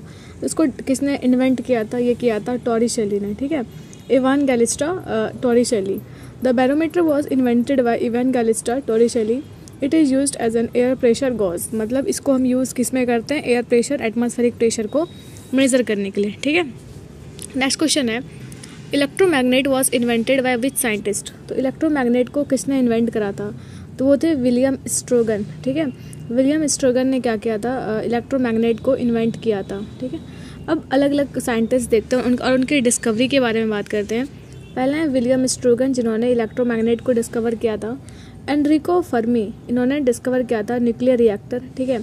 जिजे थॉमसन ने क्या डिस्कवर किया था? इलेक्ट्रॉन ठीक है? और अंश रदरफोर्ड ने एटॉमिक स्ट्रक्चर ऑफ़ मॉडल दिया था, ठीक है? In 1934 who invented the cyclotron a cyclotron is a type of particular particle accelerator in which charge particles accelerate to out outward from the centre along a spiral path तो 1934 में जो है cyclotron को किसने इन्वेंट करा था? ठीक है? तो वो थे लॉरेंस अंस्ट ओ लॉरेंस ठीक है? अब यहाँ पे साइक्लोट्रोन का इन्होंने पूरा डेफिनेशन भी दे दिया है। कि साइक्लोट्रॉन क्या है एक टाइप का कह सकते हैं पार्टिकल एक्सलरेटर है ना? जिसमें जो पार्टिकल्स हैं कोई भी पार्टिकल है वो एक्सलरेट करता है। और चार्ज पार्टिकल जब एक्सलरेट करेगा सेंटर से आउटवर्ड डायरेक्शन में ठीक है? वो भी किस पाथ में? स्पायरल पाथ में ठीक है? इस तरीके से स्पायरल पाथ में। तो साइक्लोट्रॉन को इन्वेंट किसने किया था? अर्नस्ट ओ लॉरेंस ने। is a type of particle, uh, particle accelerator. In 1932, Professor E.O. Lawrence first invented the cyclotron at Berkeley Institute, California. Cyclotron एक टाइप का पार्टिक पार्टिकल एक्सेलरेटर है ठीक है? और 1932 में प्रोफेसर ईओ लॉरेंस ने इसको इन्वेंट किया था ठीक है? कहाँ पे? बारकेले इंस्टीट्यूट कैलिफ़ोर्निया में। It is the most powerful tool for artificial acceleration means अगर हमें किसी पार्टिक पार्टिकल को एक्सलरेट कराना है ठीक है? उसको स्पीड देना है तो इसके लिए बेस्ट कह सकते इंस्ट्रूमेंट है वो क्या है? Cyclotron. Technology at the present time professor Lawrence was awarded the Nobel prize in 1939 for the invention of the cyclotron और इनको इसके, इनके इन्वेंशन के लिए साइक्लोट्रॉन के इन्वेंशन के लिए नोबल प्राइज़ भी मिल चुका है कब? 1939 में। नेक्स्ट क्वेश्चन है who discover the photoelectric effect very easy question photoelectric effect को किसने डिस्कवर किया था? तो ये किया था हर्ट्स ने। ठीक है, किसने किया था? हर्ट्स ने। The process of emitting electron after after substance absorb energy from electromagnetic radiation is called photoelectric effect तो फ़ोटो इलेक्ट्रिक इफ़ेक्ट को सबसे पहले ऑब्ज़र्व किसने किया था? एच आर हर्ड्स ने ठीक है? एच आर हर्ड्स हर्ड्स के नाम पे ही जो फ्रीक्वेंसी की जो यूनिट है वो हर्ड्स है ठीक है? एच जेड से जिसको हम सिंबल से नोट करते हैं ठीक है? और इन इसके लिए आ, बाद में इस स्टडी को आगे बढ़ाया किसने? अल्बर्ट आइंस्टाइन ने ठीक है? जिन्होंने कि पूरा पर्टिकुलर फ़ोटो इलेक्ट्रिक इफ़ेक्ट का पूरा सेटअप दिया ठीक है? मीन्स क्या फ्रिक्वेंसी होगी, कितने एनर्जी से इलेक्ट्रॉन्स बाहर निकलेंगे, कितनी एनर्जी देनी पड़ेगी जिससे कि इलेक्ट्रॉन बाहर निकलेगा, ठीक है, जिसको कि हम लोग वर्क फ़ंक्शन कहते हैं। ये पूरा जो कॉन्सेप्ट है, ये दिया तो आइंस्टीन ने, ठीक है, और आइंस्टीन को इसके लिए 1921 में नोबल प्राइज़ भी मिला था, ठीक है for is special contribution to the interpretation of the photo effect in addition Einstein also propose the theory of relativity तो बहुत सारे लोग कन्फ्यूज़ होते हैं कि आइंस्टाइन को मिला क्यों था मतलब नोबल प्राइज़ क्यों मिला था? थ्योरी ऑफ़ रिलेटिविटी के लिए या फिर फ़ोटो इलेक्ट्रिक इफ़ेक्ट के लिए। उनको मिला था Nobel prize photoelectric effect के लिए, ना कि थ्योरी ऑफ़ रिलेटिविटी के लिए, ठीक है? नेक्स्ट क्वेश्चन है who among the following invented the pendulum clock in sixteen fifty six तो 1656 में पेंडुलम क्लॉक को किसने इन्वेंट करा था? ये थे क्रिश्चियन हाइजेंस ठीक है? जिनका जो लाइट के बारे में इन्होंने पूरा कॉन्सेप्ट दिया था लाइट की जो वेव थ्योरी है, ठीक है? इंटरफेरेंस वगैरह। तो इन्होंने क्रिश्चियन हाइजेंस नहीं दिया था। और पेंडुलम क्लॉक का जो इन्वेंशन है, ये भी क्रिश्चियन हाइजेंस ने ही किया था। The pendulum clock was invented in 1656 AD by Christian Huygens. A pendulum clock is virtually a resonant device that oscillates at a fix rate तो एक पेंडुलम क्लॉक क्या होता है? एक तरीके से एक रेजोनेटिंग डिवाइस है, ठीक है? जो कि एक फिक्स रेट से क्या करता है? ऑसिलेट करता है। According to its length but is only suitable for working in a study state लेकिन पेंडुलम कहाँ पे मतलब वर्क करेगा? जहाँ पे बहुत ही कम मोशन हो रहा हो, ठीक है? कह सकते हैं लाइक एक बहुत ही स्टडी मोशन हो, ठीक है? फास्ट मोशन नहीं हो। In a moving and accelerating object it will not be able to tell the exact time लेकिन अगर कोई मूविंग ऑब्जेक्ट में अगर पेंडुलम लगाते हैं तो उस टाइम में वो एग्जैक्ट टाइम नहीं बता पाएगा, ठीक है? आगे बढ़ते हैं। नेक्स्ट क्वेश्चन है फ़ोटो फोनोग्राफ ठीक है? Phonograph was invented by with scientist तो फोनोग्राफ को किसने इन्वेंट करा था ठीक है? ये थे थॉमस एडिशन ठीक है? ग्रामोफोन और phonograph is a scientific instrument gramophone was invented in the year 1877 by Thomas Alva Edison तो ग्रामोफोन को किसने इन्वेंट किया था 1877 में? थॉमस एल्वा एडिशन ने, ठीक है? अब ये ग्रामोफोन क्या होता है? A gramophone is a sound generating device which transmit the oscillation of a needle into the air and produces sound जो कि क्या करता है ग्रामोफोन ये ऑसिलेशंस को निडल के थ्रू ट्रांसमिट करता है और एयर में फिर जाके क्या होता है? साउंड प्रोड्यूस होता है, ठीक है? नेक्स्ट क्वेश्चन है हु इन्वेंटेड एलसीडी प्रोजेक्टर तो एलसीडी प्रोजेक्टर को किसने इन्वेंट करा था? तो वो थे जिन डॉलगॉफ ठीक है? जिन डॉलगॉफ ने एलसीडी प्रोजेक्टर को इन्वेंट करा था। ये इसका जो करेक्ट ऑप्शन होगा, वो ऑप्शन नंबर ए होगा, ठीक है? अब हम देखते हैं अलग अलग जो इंस्ट्रूमेंट हैं और उनके इन्वेंटर के बारे में। पहला है एलसीडी प्रोजेक्टर इसको इन्वेंट करा था जीन डॉलगॉफ ने। JavaScript pro, programming language. ये दिया था किसने? ब्रेंडन इच ने ठीक है? कंप्यूटर माउस को इन्वेंट किया था डगलस एंगल बार्ट ने और माइक्रो प्रोसेसर को फेडरिका फ्रेगिन ने ठीक है? फैगिन ने। नेक्स्ट क्वेश्चन है who invented induction coil induction coil को किसने इन्वेंट करा था ठीक है? तो वो थे निकोलस कैलन ठीक है? निकोलस कैलन ने इंडक्शन कॉयल को इन्वेंट किया था। अब इंडक्शन कॉइल क्या होता है? It is a device to obtain high voltage from low voltage source मतलब अगर हमें हाई वोल्टेज से लो वोल्टेज सोर्स में अगर हमें आ, मतलब चेंज करना हो ठीक है तो हम क्या करेंगे? इंडक्शन कॉयल का यूज़ करेंगे। The induction coil was invented in 1836 thirty six A D by Nicholas Callan तो निकोलस कलान ने 1836 में इसको इन्वेंट किया था ठीक है? नेक्स्ट क्वेश्चन है। Who invented gas turbine gas turbine को किसने इन्वेंट करा था? वो थे जॉन बार्बर ठीक है? Gas turbine also known as the combustion turbine, gas turbine को हम और क्या कहते हैं? कम्बसन टरबाइन भी कहते हैं। ये एक टाइप का इंटरनल कम्बसन इंजन है। इस, इसको इन्वेंट किया था किसने? जॉन बार्बर ने, ठीक है? While Edwin Howard Armstrong developed C M frequency modulation radio तो अब यहाँ पे जो अलग ऑप्शन है हमारे पास, जैसे कि एडविन हवर्ड आर्मस्ट्रॉन्ग ठीक है? आपने देखा होगा कि जो हम वेवलेंथ वगैरह लिखते हैं, उसके जो कि बहुत ही कम होता है वेवलेंथ लाइट का तो हम उसको, उसके यूनिट जो होते हैं ना एंगस्ट्रॉम में हम लिखते हैं, ठीक है? वैसे यूनिट तो मीटर है बट क्योंकि वो बहुत ही छोटा डिस्टेंस होता है तो हम उसको एंगस्ट्रम में लिखते हैं। तो वन एंगस्टम की जो वैल्यू होती है, वो होती है ten to power minus ten meter ठीक है? तो ये अपने, ये इन्हीं के नाम पे ये एंगस्ट्रम यूनिट है, ठीक है? और इन्होंने क्या दिया था? फ्रीक्वेंसी मॉड्यूलेशन का कॉन्सेप्ट दिया था एमस्ट्रॉन्ग ने, और निकोलस कलान ने इंडक्शन कॉयल को इन्वेंट किया था, ठीक है? Barcode scanners were invented in तो बारकोड स्कैनर्स जो है, ठीक है? इसका इन्वेंशन कब हुआ था? इसका इन्वेंशन हुआ था 1974 में। Barcode in scanners were invented in 1974 the commercial use of barcode scanners was increase a lot this days आपने देखा होगा, बहुत सारे जगह मॉल वगैरह में हर जगह क्या होता है बारकोड रीडर ही होता है, ठीक है? तो ये मतलब बहुत ही सही चीज़ है, सही इन्वेंशन है, इसको हम बहुत ज़्यादा यूज़ करते हैं आज के टाइम में। Almost every business today uses innumerable bar codes for various reasons there are several types of scanner such as L E D laser imager and two D scanning the bar code in a different way तो अलग अलग type के barcode होते हैं, ठीक है? और इसमें अलग अलग टाइप के स्कैनर भी होते हैं, ठीक? जैसे कि एलईडी लेजर हो गया इमेज इमेज को मतलब स्कैन करता है टू इमेज को, ठीक है? तो कह सकते हैं अलग अलग टाइप का होता है। नेक्स्ट है कैलिडोस्कोप वॉज़ इन्वेंटेड बाय तो कैलिडोस्कोप को किसने इन्वेंट किया था, ठीक है? तो कैलिडोस्कोप को इन्वेंट किया था किसने? डेविड ब्रेस्टर ने, ठीक है? डेविड ब्रेस्टर मतलब ऑप्शन नंबर डी जो इसका करेक्ट आंसर होगा। आगे देखते हैं इसका एक्सप्लेनेशन तो kaleidoscope was invented in year eighteen seventy seventeen by David Brewster David Brewster ने क्या किया था? कैलिडोस्कोप को इन्वेंट किया था. Tim Berners Lee invented W W dot तो आपने सुना होगा वर्ल्ड वाइड वेब जब भी हम कोई वेबसाइट लिखते हैं, उसके आगे world wide web W W W लिखते हैं, ठीक है? तो इसको इन्वेंट किसने किया था? टीम बर्नर्स ली ने. Alan Blumlein has invented many electronic device just telecommunication sound recording and stereophonic sound. तो एलन ब्लूमिन ने बहुत सारे इन्वेंशन किए, जैसे कि साउंड रिकॉर्डिंग सिस्टम हो गया, फिर स्टेरियोफोनिक साउंड हो गया, इन सब का इन्वेंशन किया है। नेक्स्ट है magic marker was invented by तो मैजिक मार्कर को किसने इन्वेंट किया था? वो थे सिडनी रोशनथल, ठीक है? सिडनी रोशनथल ने। Magic marker was invented in 1953 by Sidney Rosenthal इसको किसने किया था? सिडनी रोजनथल ने, ठीक है? Saxophone was invented in 1846 by Adolphe Sax तो सेक्सोफोन को किसने इन्वेंट किया था? 1846 में एडोल्फ सेक्स ने the oral polio vaccine was invented by Albert Bruce Sabin और ओरल ओरल पोलियो वैक्सीन जो कि अभी डाला जाता है, ठीक है पोलियो की वैक्सीन ओरल ठीक है, उसको किसने इन्वेंट किया था? अल्बर्ट ब्रूस शेविन ने। Hyman G Rickover is no also known as father of the nuclear navy और न्यूक्लियर नेवी के फादर किसे बोला जाता है? हाइमन जी रिक ओवर को। He develop naval nuclear propulsion ठीक है?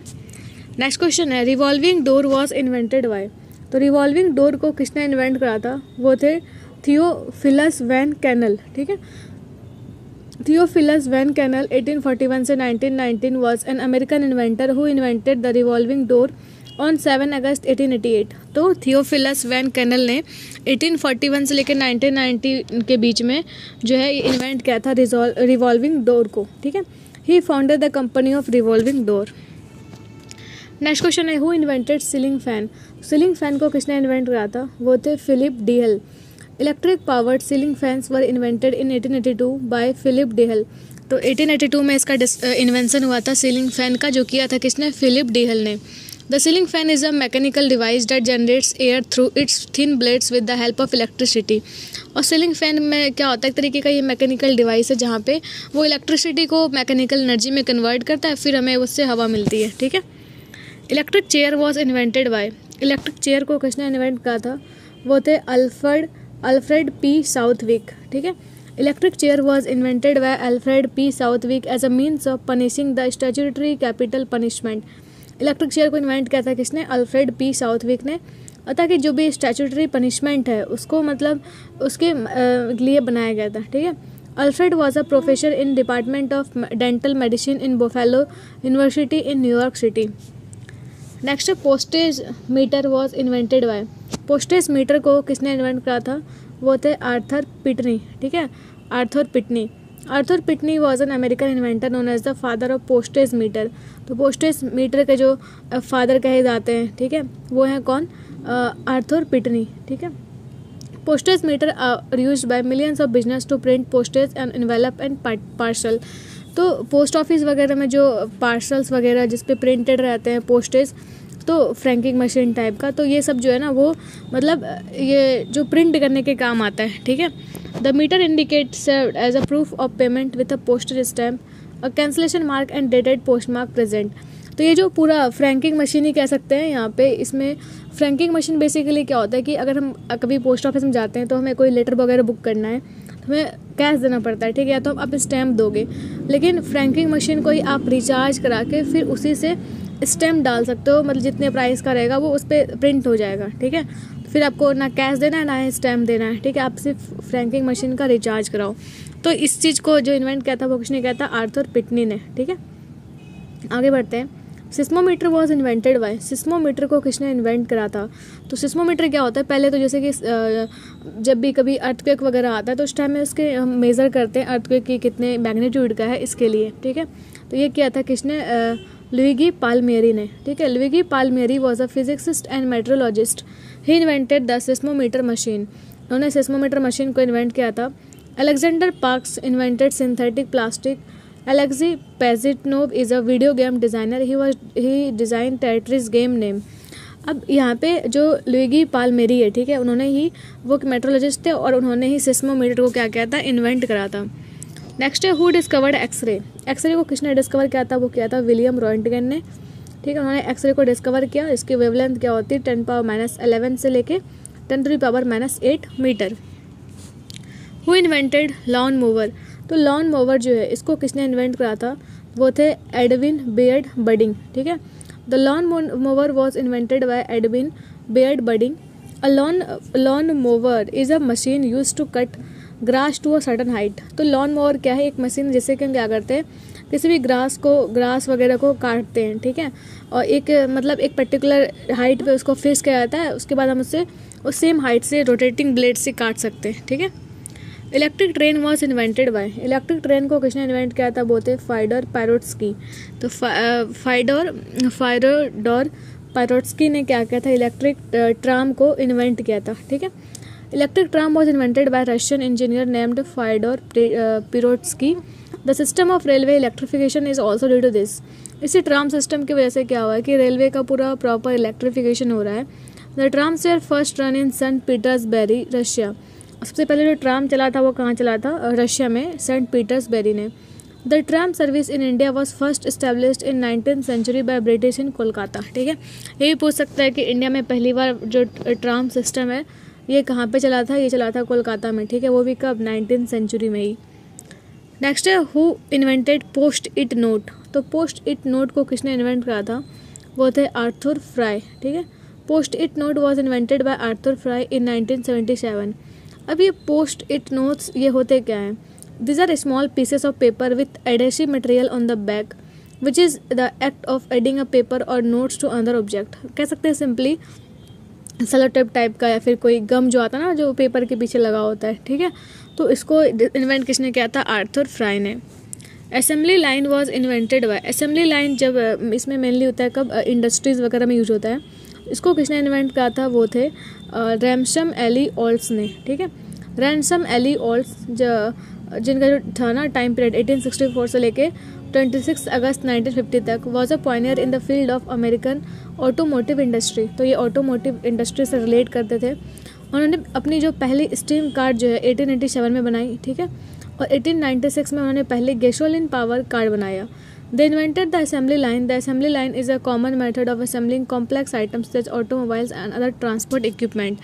तो असेंबली लाइन मेनली क्या होता है कि उसमें अलग अलग अलग अलग जो वर्कर्स हैं, ठीक है, उनको एक पर्टिकुलर पार्ट्स को फिक्स करना होता है और फिर वो आगे मूव करता रहेगा, ठीक है, जैसे किसी ने टायर लगाया, किसी ने इंजन लगाया, ठीक है, इस तरीके से वो पूरा किसी ने विंडो लगाई तो ये मतलब एक बंदा जो है, एक वर्कर जो है, वो सेम काम करेगा और वो चीज़ें आगे मूव करती रहेगी, ठीक है?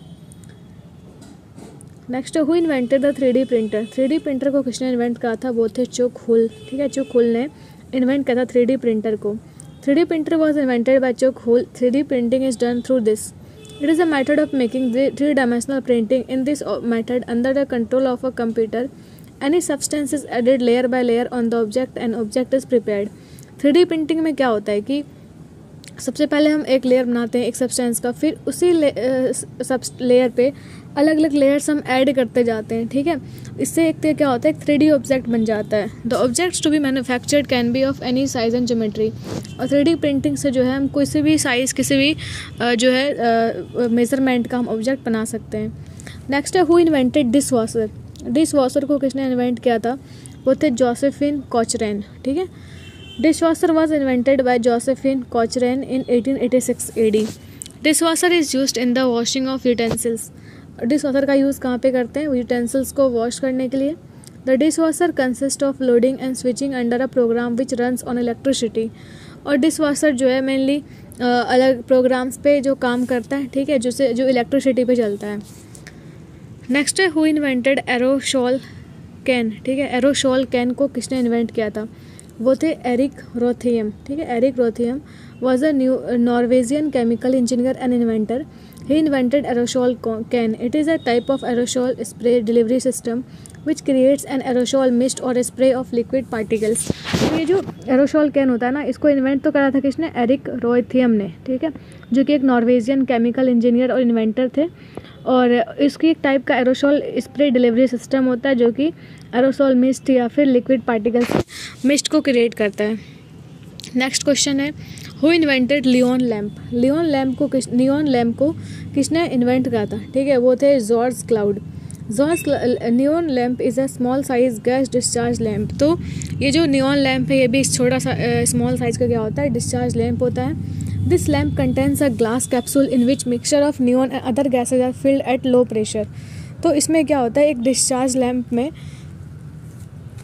नियॉन के अलावा और भी गैसेस फिल होती हैं, ठीक है? इसके पास दो इलेक्ट्रोड्स भी होते हैं। इसलिए जब इसमें हम सफिशेंट वोल्टेज अप्लाई करेंगे इस इलेक्ट्रोड में और करंट फ्लो करेगा तो क्या होगा? गैस मिक्सचर में एक लाइट प्रोड्यूस होगा, ठीक है? ऑरेंज कलर के लाइट तो क्वेश्चन में यही पूछ सकता है कि न्यून जो गैस है ना, जब बर्न होता है, ठीक है? उस टाइम में किस कलर का फ्लेम निकलता है? तो होता है येलो ठीक है? जॉर्ज क्लाउड ट्वेंटी फोर सितंबर एट से was a French engineer and inventor he invented the neon lamp तो जॉर्ज क्लाउड ने क्या किया था? इसको इन्वेंट किया था। नेक्स्ट क्वेश्चन है who invented universal standard time तो यूनिवर्सल स्टैंडर्ड टाइम को किसने इन्वेंट किया था? वो थे स्टैडफोर्ड फ्लेमिंग ठीक है? स्टैडफोर्ड सैंडफोर्ड फ्लेमिंग ने। Universal standard time was invented by Sandford Fleming he was a British Canadian engineer and inventor ये जो एडोल्फ गैस्टोन यूजन ये सैंडफोर्ड फ्लेमिंग जो थे, ये क्या थे? ये एक ब्रिटिश कैनेडियन इंजीनियर थे, ठीक है? He also design Canada's first posted stamp with determination of standard time time zones around the world उन्होंने सबसे पहले कनाडा का जो पहला पोस्टेज स्टैम्प है, वो भी डिटरमाइन किया था, ठीक है? यूजिंग स्टैंडर्ड टाइम जोन्स ठीक है? जैसे कि हम लोग पता है कि जो अलग अलग वर्ल्ड है ना, वो डिफरेंट डिफरेंट टाइम जोन्स में बटा हुआ है, ठीक है? जैसे कि इंडिया का एक अपना स्टैंडर्ड टाइम है, ठीक है? वैसे ही रशिया में सबसे ज़्यादा जो है, कह सकते हैं यहाँ पर टाइम जोन से क्योंकि उसका जो विर्थ है, वो बहुत ज़्यादा है, ठीक है? नेक्स्ट क्वेश्चन है who inventor internet protocol internet protocol को किसने इन्वेंट करा था, ठीक है? ये जो इंटरनेट प्रोटोकॉल को है, इसको इन्वेंट करता है किसने विंट सर्प ने ठीक है? तो ऑप्शन नंबर ए जो इसका करेक्ट आंसर होगा। नेक्स्ट क्वेश्चन है हमारे पास, इसका थोड़ा एक्सप्लेनेशन देख लेते हैं। Vint Cerf is an American computer scientist internet protocol address is a numerical level which is allocated to devices participating in computer network that use internet protocols तो पहले तो विंट सर्फ एक अमेरिकन कंप्यूटर साइंटिस्ट थे, जिन्होंने कि क्या किया था? आई पी एड्रेस को इन्वेंट किया था ठीक है? जैसे कि एक पर्टिकुलर आई पी एड्रेस होता है ना, जहाँ से हम किसी चीज़ को ट्रैक करते हैं। तो ये क्या होता है कि न्यूमेरिकल लेवल है, ठीक है? न्यूमेरिक लेवल है which is allocated to devices participating in computer network that use internet protocols for communication between their nodes तो आईपी की वजह से ही आईपी एड्रेस की वजह से क्या होता है? पूरा जो प्रॉपर कम्युनिकेशन है, वो हो पाता है, ठीक है? The communication between their nodes credit for the discovery of the internet protocol goes to Vint of and his colleagues colleagues Robert Elliot Kahn who started the journey of internet in the nineteen seventy तो जो IP IP address का जो invention का credit है ठीक है? ये किसको जाता है? ये जाता है विंड सब और उनके कॉलेज कलिग्स को, ठीक है? और ये कब हुआ था? 1970 में। नेक्स्ट क्वेश्चन है who invented the nuclear reactor nuclear reactor को किसने इन्वेंट किया था? वो थे एनरिको फर्मी ठीक है? ऑप्शन नंबर ए जो इसका करेक्ट आंसर है। Enrico Fermi was an Italian physicist and Nobel prize winner तो एनरिको फर्मी जो है वो एक इटालियन फिजिसिस्ट हैं और वो नोबल प्राइज़ विनर है, ठीक है? उन्होंने एटॉमिक रिएक्टर को इन्वेंट किया था। अब एटॉमिक फर्नेंस क्या होता है? Furnace this is a device in which the energy emitted from it by controlling the rate of chain reaction that occurs during nuclear fission तो न्यूक्लियर फीसन के time में जो अलग अलग रिएक्शंस होते हैं, ठीक है? इसको कंट्रोल करने के लिए हम इसे पर्टिकुलर एक फर्नेंस में रिएक्शन कराते हैं, ठीक है? इसको हम कहते हैं atomic furnace first atomic bomb built in 1945 AD by Julius Robert Oppenheimer तो ओपेनहाइन वो जो ओपेनहाइमर है ना तो इससे से आया है। तो ये जो जूलियस रॉबर्ट ओपेनहाइन ने इसको सबसे पहले, पहला एटॉमिक बॉम्ब जो है बनाया था 1945 में। हु इन्वेंटेड वाटर टर्बाइन तो वाटर टर्बाइन को किसने इन्वेंट किया था? ये थे बॉर्नाइट फॉर्नेरॉन ठीक है? The water turbine was invented by French engineer Benoit Fourneyron while the contact lens was invented by Adolf Gaston Eugen Fick तो जो ये वाटर टर्बाइन है, ठीक है? इसको इन्वेंट किया था फ्रेंच इंजीनियर बिनवाइट फर्नेयोन ने ठीक है? लेकिन पहला जो कॉन्टैक्ट लेंस है, इसको इन्वेंट किया था एडोल्फ गैस्टोन यूगेन फिक ने। नेक्स्ट है who invented air bag air bag को किसने इन्वेंट किया था? वो थे एशन जॉर्डन ऑफ़ ठीक है? Airbag was invented by Ashen Jordan of it is use to prevent accident in vehicles जितने भी व्हीकल्स होते हैं, उसमें आजकल क्या होता है? एयर बैग लगा होता है। तो जब भी पर्सन एक्सीडेंट के बाद वो आगे की तरफ़ बेंड होगा ना तो वो क्या होगा? एयर बैग खुल जाता है तो उसका जो मतलब हेड में जो इंजरी आ सकती थी, वो उससे बच जाता है। तो ये जो इसको इन्वेंट किया था किसने? एस एन जॉर्डन ऑफ़ ने, ठीक है, जो कि बहुत एसेंशियल है आज के टाइम में तो। Wait is the Wright brothers invented the aircraft हमें ये पता ही है, ठीक है राइट ब्रेडर्स ने क्या किया था? एयरक्राफ्ट को इन्वेंट किया था। Reynold B Johnson is said to the father of hard disk drive तो जब भी लैपटॉप वगैरह में हार्ड डिस्क लगाते हैं, ठीक है, उसके फादर कौन कहे जाते हैं? Reynold B Johnson Ken Kutaragi the Japanese inventor father of PlayStation तो प्ले स्टेशन जो है पी एस फाइव है ना, ये सब। इसको किसने इन्वेंट था। पी एस फाइव तो रिसेंट है, ठीक है? इस टाइप का जो प्ले स्टेशन है, इसके फादर कौन कहे जाते हैं? कैन कुटरागी ठीक है? नेक्स्ट है हु इन्वेंटेड हेलीकॉप्टर हेलीकॉप्टर को किसने इन्वेंट किया था। ये क्या था? सिल्को सिक्रोक्सी ने ठीक है? सिक्रोक्सी ने Igor Ivanovich Sikorsky born in Russia on twenty fifth May eighteen eighty nine was a Russian American aircraft designer तो आइगर इवानोविस जो हैं, सिक्रोक्सी, ये रशिया में इनका जन्म हुआ था ट्वेंटी फिफ्थ मई एटीन एटी नाइन को, और ये एक रशियन अमेरिकन एयरक्राफ्ट डिज़ाइनर थे। He invented the helicopter after coming to the United State in nineteen ninety तो जब ये ये वहाँ पे मतलब यूएस में जब शिफ्ट हुए, उस टाइम में नाइनटीन नाइनटीन में इन ये इन्होंने इसको इन्वेंट किया था। Sikorsky founded the Sikorsky aircraft corporation in nineteen twenty three इन्होंने सिक्रोक्शी एयरक्राफ्ट कॉरपोरेशन भी बनाया नाइनटीन ट्वेंटी थ्री में। And develop the first of Pan American airways ocean crossing flying boats in nineteen thirties और nineteen thirties में पहला Pan American है ना airway ocean crossing flying boats भी बनाया In 1939, Sikorsky designed and flew the Vought Sikorsky VH-300, the first viable American helicopter which pioneered the rotor configuration used by most helicopters today. C question है telephone exchange was invented by तो telephone exchange जो किसने invent किया था तो वो थे तिवादार Puskas ठीक है? ऑप्शन नंबर ए जिसका करेक्ट आंसर होगा, ठीक है? Tivadar Puskas was an Hungarian inventor who invented the telephone exchange Tivadar Puskas जो है, वो एक हंगेरियन मतलब हंगरी के रहने वाले थे, ठीक है? उन्होंने ही इन्वेंट किया था किसको? ये टेलीफोन एक्सचेंज को। टेलीफोन एक्सचेंज होता क्या है, ठीक है? एक टाइप का कम्युनिकेशन सिस्टम ही है, ठीक है, जो कि पब्लिक स्विच टेलीफोन नेटवर्क्स पे काम करता है वो भी लार्ज इंटरप्राइजेज के लिए। नेक्स्ट है हु इन्वेंटेड लेज़र लेज़र को किसने इन्वेंट किया, ठीक है? लेज़र को इन्वेंट किया था किसने? गॉर्डन गोल्ड ने, ठीक है? और laser is a device that emits light in a straight line through a process of optical amplification based on the excited emission of electromagnetic radiation तो लेज़र जो एक ऐसा डिवाइस है, ठीक है, जो कि वो लाइट को इमिट करता है, वो भी एक पर्टिकुलर फिक्स डायरेक्शन में, ठीक है? इसमें लाइट का डेविएशन नहीं होता। इसको इन्वेंट किया था किसने? अमेरिकन फिजिसिस्ट गॉर्डन गोल्ड ने। The term laser was first publicly use by Gordon Jordan Gould in 1959 conference paper the laser तो सबसे पहले जो ये इस वर्ड का लेज़र जो वर्ड है, इसको यूज़ भी गॉर्डन गोल्ड ने ही किया था। और लेज़र का, उन्होंने अपना जो एक कॉन्फ्रेंस पेपर पब्लिश किया था द लेज़र नाम से। अब लेज़र का फुल फॉर्म क्या होता है? Light amplification by stimulated emission of radiation ठीक है? नेक्स्ट क्वेश्चन है what did J B J B Dunlop invent तो जे बी डुनलॉप ने क्या इन्वेंट किया था, ठीक है? उन्होंने क्या इन्वेंट किया था? न्यूमोनिक रबर टायर ठीक है?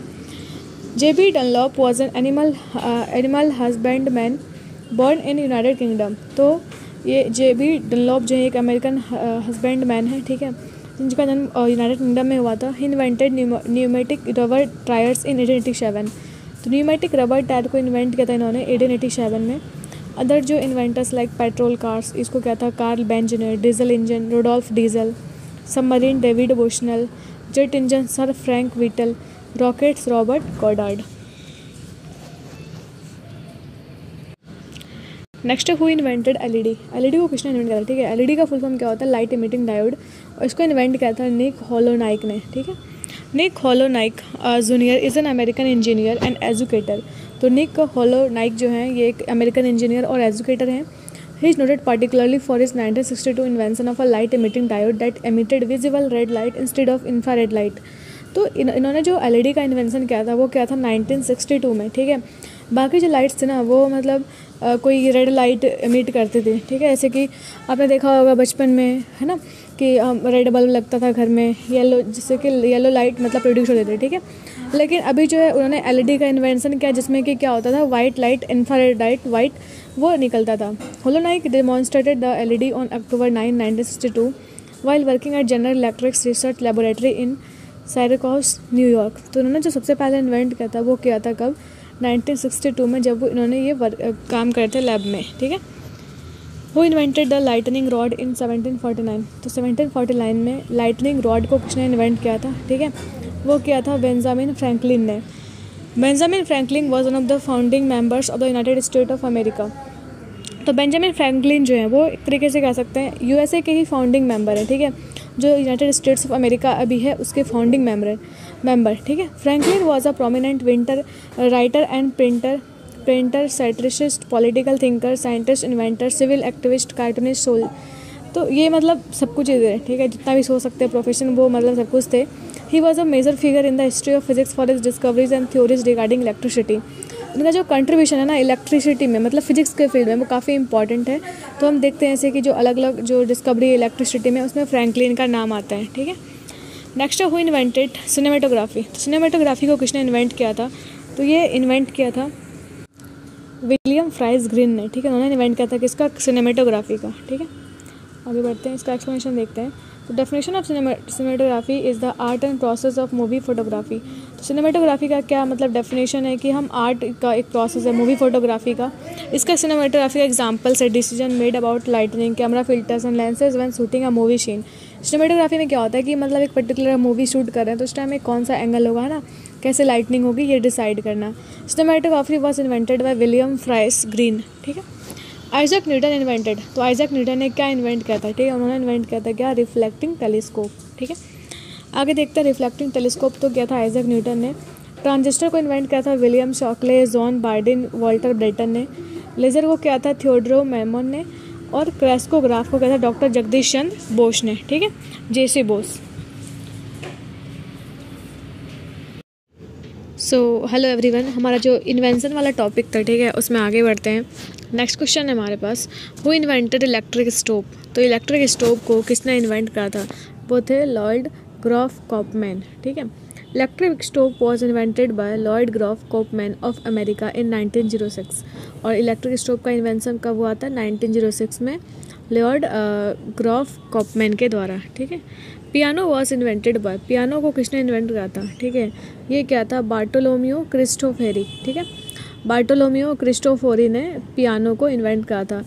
Modern piano was invented around seventeen hundred AD by Italian instrumental maker Bartolomeo Cristofori ठीक है? जो कि इटली के रहने वाले बार्टोलियोमियो क्रिस्टोफोरी उन्होंने ही पियानो को इन्वेंट करा था।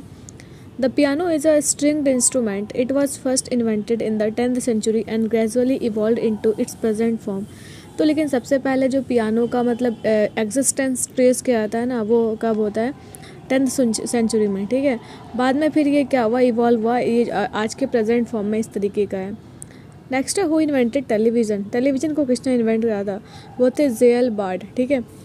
John Logie Baird was a Scottish inventor, electrical engineer, and innovator who demonstrated his working television system on 26 January 1926 means ये जॉन लॉगी जो है ठीक है उन्होंने ही ये इस इनका इन्वेंशन किया था 26 जनवरी 1926 में he went on to invent the first publicly demonstrated color television system and the first viable purely electronic color television picture tube In 1928, the Bayer Television Development Company achieved the first transatlantic television transmission.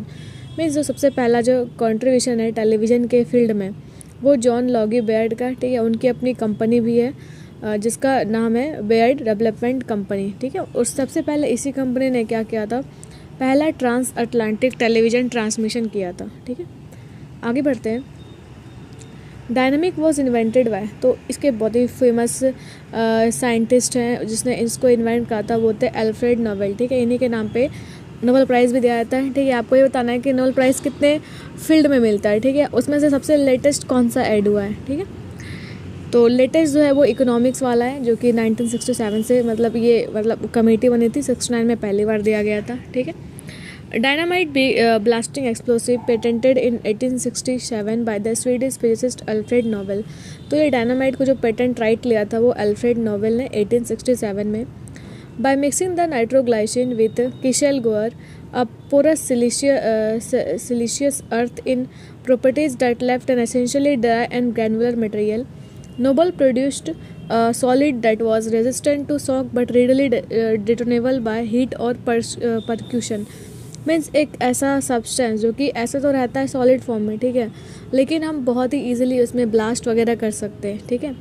Later wood pulp was substituted as the absorbent and solid nitrate was added as an oxidizing agent to increase the strength of oxy explosive ठीक है? पहले तो उसमें नाइट्रोग्लाइसिन के साथ हम castle गोर को मिलाते थे, लेकिन बाद में उस एक्सप्लोसिव की स्ट्रेंथ को बढ़ाने के लिए हमने उसमें ऑक्सीडाइजिंग एजेंट ऐड करा, ठीक है? सोडियम नाइट्रेट सोडियम नाइट्रेट को। नेक्स्ट है Christmas card was invented by Christmas card को किसने इन्वेंट किया था? ये थे सर हेनरी कोल ठीक है? The first production and circulation of Christmas card was started by Sir Henry Cole सबसे पहले किसने किया था? सर हेनरी कोले ने। He was a British civil servant and inventor who facilitated many new ways in commerce and education in nineteen century मतलब वो बहुत ही famous सकते हैं एक ब्रिटिश सिविल सर्वेंट भी थे। है ना? और एक एजुकेशनिस्ट भी थे। और उन्होंने नाइनटीन सेंचुरी में इसका क्रेडिट जाता है इसके इन्वेंशन का। Cole made the world first commercial Christmas card in 1843 और वर्ल्ड का पहला जो कमर्शियल क्रिसमस कार्ड है, ये बनाने का जो क्रेडिट है किसको जाता है? कोल को जाता है। He take responsibility for designing the card of artist John Callcott Horsley और सबसे पहले जो कार्ड इन्होंने डिज़ाइन किया था, वो किसका किया था? जॉन कैलकॉट हौसले का। Who invented vacuum flask vacuum flask को किसने इन्वेंट किया था? ठीक है, जो कि बहुत एसेंशियल है अगर हमें कोई एक्सपेरिमेंट करना हो तो ठीक है? ये क्या था? जेम्स डेवर ने। A vacuum flask or thermos flask is an insulated storage container that keeps the contents of the flask warmer or cooler than the outside environment तो एक वैक्यूम फ्लास्क क्या कह सकते हैं? थर्मस फ्लास्क ठीक है? वो क्या होता है? एक तरीके से एक एक इंसुलेटेड कंटेनर टाइप का, ठीक है? जो कि बाहर के इन्वायरमेंट से उस पर इम्पैक्ट कम पड़ता है ना? ऐसा भी नहीं कि वो परफेक्ट इंसुलेटिंग होता है, पूरा इन्वायरमेंट से कटअप हो जाता है, ऐसा नहीं है। हाँ बट बहुत एक लिमिटेड टाइम तक वो इन्वायरमेंट से कटअप रहेगा, ठीक है? It was invented in 1892 by Sir James Dewar इसको इन्वेंट किया था सर जेम्स देवर ने 1892 में। The vacuum flask consist of two flask in which one is placed inside the other and its throat is sealed तो ये जो vacuum flask है ना, उसमें खुद में दो फ्लास्क होते हैं, ठीक है? जो कि पहला जो होता है, एक दूसरे के अंदर होता है। The spaces between the two are kept partially filled and heat transfer is reduced by convection, creating a vacuum. ये जो मतलब जो हीट का ट्रांसफ़र है, ये नहीं हो पाता क्योंकि वो उसको स्टॉप कर देता है वैक्यूम क्रिएट करने के बाद। नेक्स्ट क्वेश्चन है हु डिस्कवर्ड कैटालिसिस तो कैटालिसिस को किसने डिस्कवर किया था? तो वो थे बार्जेलियस ठीक है? A catalyst is a substance which presence only increase or accelerate the speed of chemical reaction mainly हम ज़्यादा डीप में पढ़ेंगे कैटलिस्ट के बारे में, जब हम केमिस्ट्री में बात करते हैं, ठीक है? तो कैटलिस्ट ऐसा समझिए, कोई एक ऐसा सब्सटेंस है, ठीक है? जो कि किसी भी रिएक्शन के रेट को बढ़ा सकता है या तो घटा सकता है, ठीक है? दोनों कर सकता है, बढ़ा भी सकता है, घटा भी सकता है, लेकिन इस कैटलिस्ट के वजह से उस केमिकल रिएक्शन में कोई इंटरनल इंटरफेरेंस नहीं होता है मतलब उसका कंपोजिशन चेंज नहीं होगा। कैटलिस्ट खुद रिएक्ट नहीं करता बट है ना, वो एक ऐसा वो इन्वायरमेंट बना देता है जिससे कि रिएक्शन जल्दी हो या थोड़ा लेट से हो, ठीक है? The catalyst does not participate in the chemical reaction ठीक है? सो यहाँ पे लिखा हुआ भी है कि कैटलिस्ट जो है वो केमिकल रिएक्शन में पार्टिसिपेट नहीं करता बट बट ये स्पीड को अफेक्ट करता है, ठीक है? Berzelius first discovered catalyst in 1835 by studying some chemical reaction तो बार्जेलियस ने जो है, सबसे पहले डिस्कवर किया था कैटलिस्ट को 1835 में। कुछ केमिकल रिएक्शंस वगैरह को उसमें यूज़ करके, ठीक है? नेक्स्ट क्वेश्चन है who build the first laser तो पहली बार जो है लेज़र लाइट को किसने बनाया था, ठीक है? ये बनाया था थियोडर थियोडोर एच मेहमान ने, ठीक है? थियोडोर एच मेहमान ने सबसे पहले लेजर बनाया था, ठीक है? पहला laser A laser is a device that emits light through a process of optical amplification based on the stimulated emission of electromagnetic radiation. तो लेज़र एक ऐसा डिवाइस है ठीक है जो कि लाइट को इमिट करता है एक ऑप्टिकल एम्पलीफिकेशन के प्रोसेस से ठीक है? The word laser is an acronym for light amplification तो ले, लेजर जो है ना ये एक तरीके से कह सकते हैं शॉर्ट फॉर्म है ठीक है?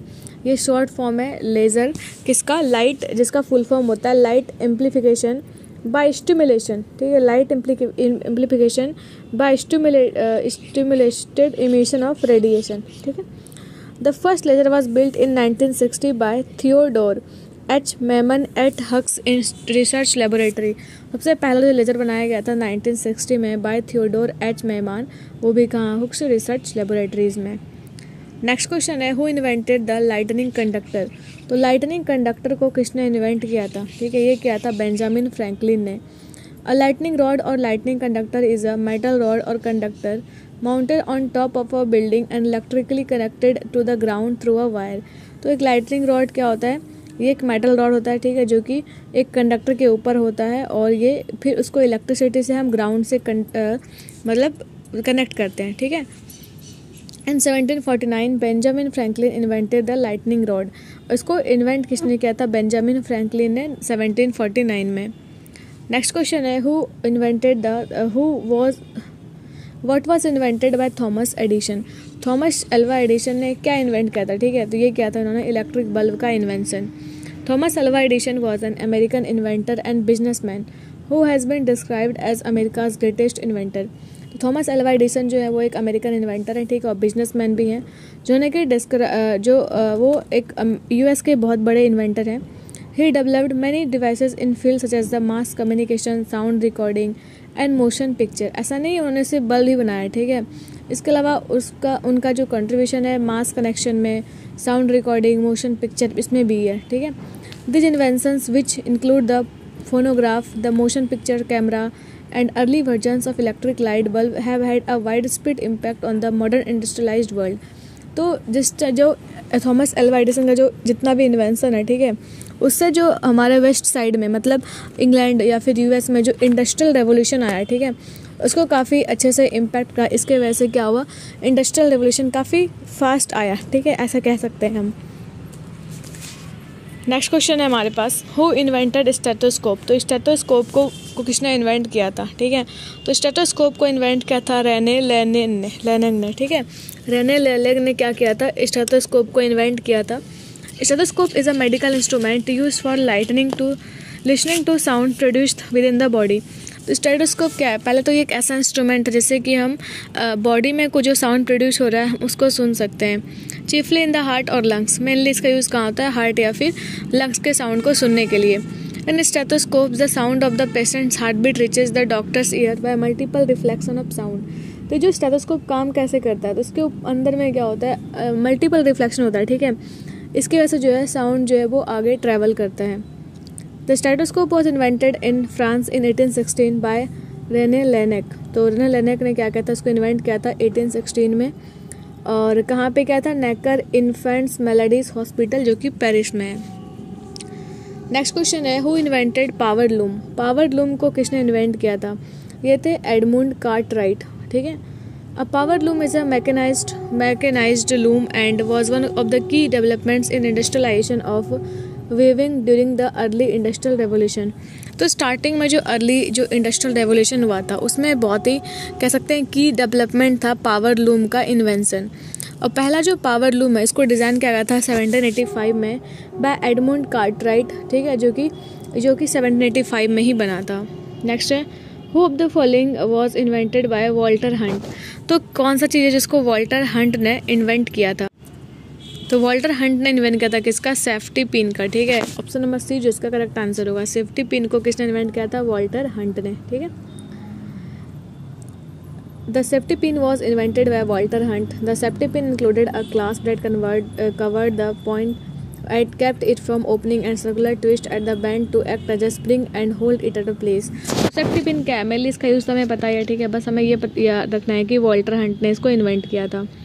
नेक्स्ट क्वेश्चन है who among the following scientist invented the cotton gin तो कॉटन गिन को किसने इन्वेंट किया था? तो वो थे ऑप्शन नंबर डी जिसका करेक्ट आंसर होगा, वो होगा एली विटनी ठीक है?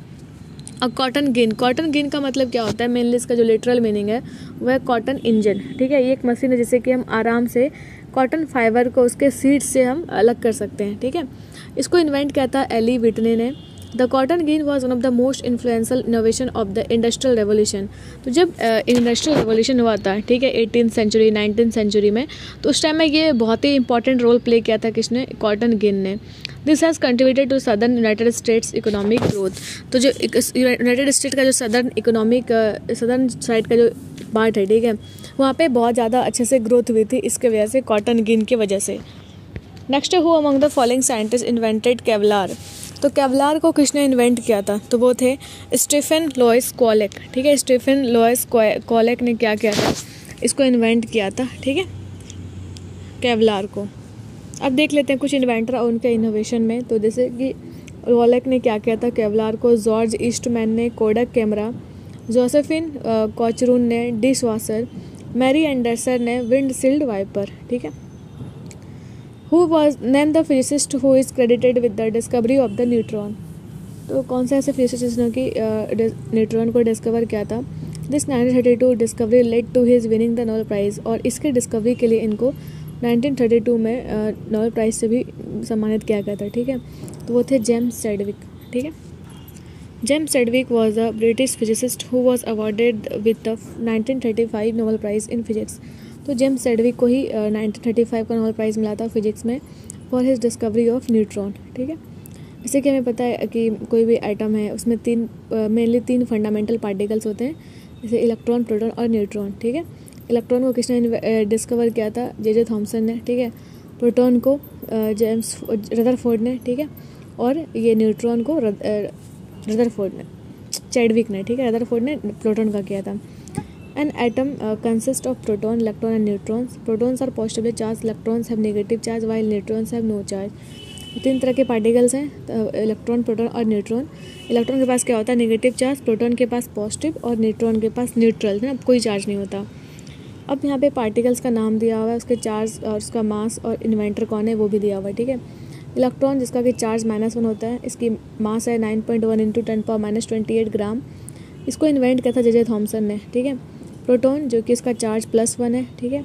इसको, इसका मास जो है one point six into ten three power minus twenty four gram इसको इन्वेंट किया था किसने? गोल्ड स्टीन ने, ठीक है? और न्यूट्रॉन न्यूट्रॉन न्यूट्रॉन जो है, ठीक है? ये न्यूटन नहीं न्यूट्रॉन है, ठीक है? इसको किसने इन्वेंट किया था? जेम्स सेडविक ने। नेक्स्ट क्वेश्चन है हु इन्वेंटेड रॉकेट रॉकेट को किसने इन्वेंट किया था? वह थे रॉबर्ट गोडार्ड ठीक है? रॉबर्ट गोडार्ड ने रॉकेट को इन्वेंट किया था। Rocket was invented by Robert Goddard in 1920 AD rocket is a type of vehicle whose principle of flight is based on Newton's third law of motion which is known as the law of action and reaction तो rocket को invent तो क्या था Robert Goddard ने, ठीक है? लेकिन rocket जो है वो किस प्रिंसिपल पे काम करता है? It works on the principle of action and reaction ठीक है? तो ये न्यूटन का थर्ड लॉ है, एक्शन एंड रिएक्शन, ठीक है? The rocket gets a force of equal proportion in forward direction when throwing hot air backwards at a fast speed तो rocket से जितनी ही तेज़ स्पीड से नीचे से वो हवा निकलेगी, उतना ही तेज़ वो ऊपर जाएगा, ठीक है? उतने तेज़ स्पीड से। तो यही क्या है? इस, इसी प्रिंसिपल पे जो रॉकेट है, वो काम करता है। नेक्स्ट क्वेश्चन है who invented F M radio F M radio को किसने इन्वेंट किया था? तो वो थे एडविन होवार्ड आर्मस्ट्रंग ठीक है? F M radio was invented in the year 1928 by American scientist Edwin Howard Armstrong ठीक है तो एडविन होवार्ड हार्वर्ड आर्मस्ट्रॉन्ग ने 1928 में रेडियो को इन्वेंट किया था। नेक्स्ट क्वेश्चन है who among the following discover the microwave तो माइक्रोवेव को किसने इन्वेंट किया था? वो थे पर्शी स्पेंसर ठीक है? तो माइक्रोवेव को पर्शी स्पेंसर ने। अब एलिमेंट्स का जो क्लासिफिकेशन है, ठीक है, वो किसने दिया था? दिमित्री मैंडलिव ने। रेडियो एक्टिविटी को किसने बताया था? हेनरी बैक्रॉल ने, ठीक है? नेक्स्ट क्वेश्चन है। Barograph was invented by barograph को किसने इन्वेंट किया था? वो क्या था? लुशन वीडी ने, ठीक है? Barograph was invented in 1844 by French physicist Lucien Vidie barometer measure atmospheric pressure as the force per unit area तो ये जो बैरोमीटर है, ठीक है, वो क्या करता है? एटमॉस्फेरिक प्रेशर को मेज़र करता है। जिसका फॉर्मूला क्या होता है? प्रेशर का force upon area unit of atmospheric pressure is millibar. वैसे तो प्रेशर का यूनिट बार होता है, टॉर होता है, ठीक है? तो लेकिन जो यहाँ पे कह सकते हैं, हम जो बहुत ही कम प्रेशर होगा तो उसको किसमें मेजर करेंगे? मिली बार में, ठीक है? नेक्स्ट क्वेश्चन है, dash receive the very first Nobel prize in physics in 1901 for is discovery of X ray तो किसको नोबल प्राइज़ पहला नोबल प्राइज़ मिला था? उनकी एक्स रे की डिस्कवरी के लिए। तो वो थे रॉन्टगेन ठीक है? William Roentgen William Roentgen was a German mechanical engineer and physicist who on eight November 1895 produced and detected electromagnetic radiation in a wavelength range known as X ray तो Roentgen क्या थे? वो जर्मनी के रहने वाले थे और उन्होंने ही क्या किया था? एक इलेक्ट्रोमैग्नेटिक वेव जिसका नाम है एक्स रे उसको डिस्कवर किया था, ठीक है? His discovery of X ray was a great revolution in the field of physics and medicine तो एक्स रे का है ना, बहुत इंपॉर्टेंट रोल है physics as well as medical science में भी, ठीक है? क्योंकि हम, आप देखते होंगे बॉडी पार्ट्स का एक्सरे होता है, ठीक है? क्यों? मतलब उससे क्या होता है कि हम जो पेनिट्रेशन के वजह से क्या होता है, उसका क्लियर पिक्चर ले सकते हैं, ठीक है? His discovery of X ray was a great revolution ये तो हो गया, है ना? और उनको इसके लिए अवार्ड मिला था Rumford medal Royal Society of London के द्वारा 1896 में, और पहला नोबल प्राइज़ जो है फिजिक्स में, वो इन्हीं को मिला था 1901 में, ठीक है? नेक्स्ट क्वेश्चन है who among the following use the term battery to describe the connected capacitors जब हम डिफरेंट कैपेसिटर्स को, जब हम उसको कनेक्ट करते हैं तो क्या बनता है? बैटरी बनता है, ठीक है? तो ये जो बैटरी वर्ड है, ये किसने दिया था? ये दिया था बेंजामिन फ्रैंकलिन ने, ठीक है? In 1749 Benjamin Franklin use the word battery to describe linked capacitor अलग अलग हम कैपेसिटर्स को जब हम जोड़ देंगे लिंक करेंगे तो क्या बनता है? हमारे पास बैटरी बनती है। बैटरी जो डिस्कवर किया था, वो किसने किया था? अलेक्जेंडर वोल्टा ने। The industrial use of electricity begin with the development of battery तो जो डबल जो इंडस्ट्रियल जो इसका यूज़ है, ठीक है, वो कब से स्टार्ट हुआ जब हमने इलेक्ट्रिसिटी जो है, वो बैटरी का जो डेवलपमेंट हुआ, ठीक है? Capacitors act like a battery it stores electric charge and one needed store in capacitor charges can be recaptured तो बैटरी का भी तो सेम ही है, वो भी जगह करता है चार्ज को क्या करता है स्टोर करता है, ठीक है? और अगर वो बैटरी चार्ज है तो कभी भी हमें ज़रूरत हो तो हम उससे फिर से चार्ज वापस से लेके हम करंट बना सकते हैं, ठीक है?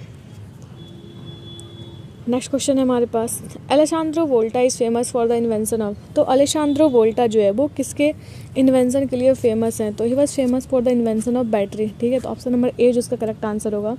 Was an Italian physicist he is credited as the inventor of electric battery in eighteen hundred A D तो अलेसांद्रो वोल्टा, जो कि इंडियन फिजिसिस्ट इटालियन फिजिसिस्ट थे, उनका जो इन्वेंसन है, वो मेनली किस फ़ील्ड में? इलेक्ट्रिक बैटरी के फ़ील्ड में, ठीक है? जो उन्होंने कब करा था? एटीन हंड्रेड ए डी में। Which of the following was discovered by W C Roentgen तो रोइंटगन ने क्या डिस्कवर किया था? वो क्या था एक्सरे इनके, इसके लिए उनको 1901 में नोबल प्राइज़ पहला नोबल प्राइज़ जो है फिजिक्स का, वो इन्हीं को मिला था, ठीक है? अब ये एक्सरे क्या होता है? And X ray is a penetrating form of light energy electromagnetic radiation. तो एक्सरे क्या है? एक ये कह सकते हैं, एक इलेक्ट्रोमैग्नेटिक रेडिएशन ही है, जिसकी पेनेट्रेशन पावर जो होती है, वो काफ़ी हाई होती है, ठीक है?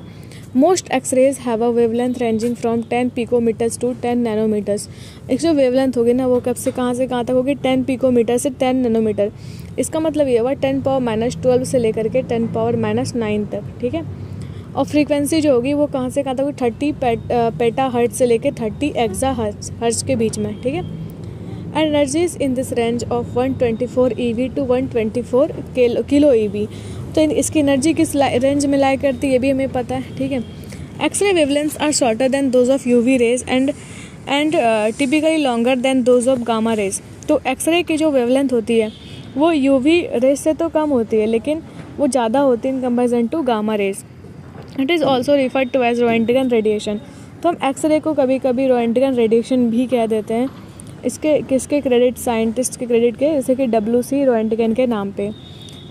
जो कब उन्होंने डिस्कवर किया था इसको? 1895 में, ठीक है? What was invented by Zacharias Janssen तो जैकरियस जैनसिन ने क्या डिस्कवर किया था? क्या इन्वेंट किया था? तो वो था माइक्रोस्कोप ठीक है?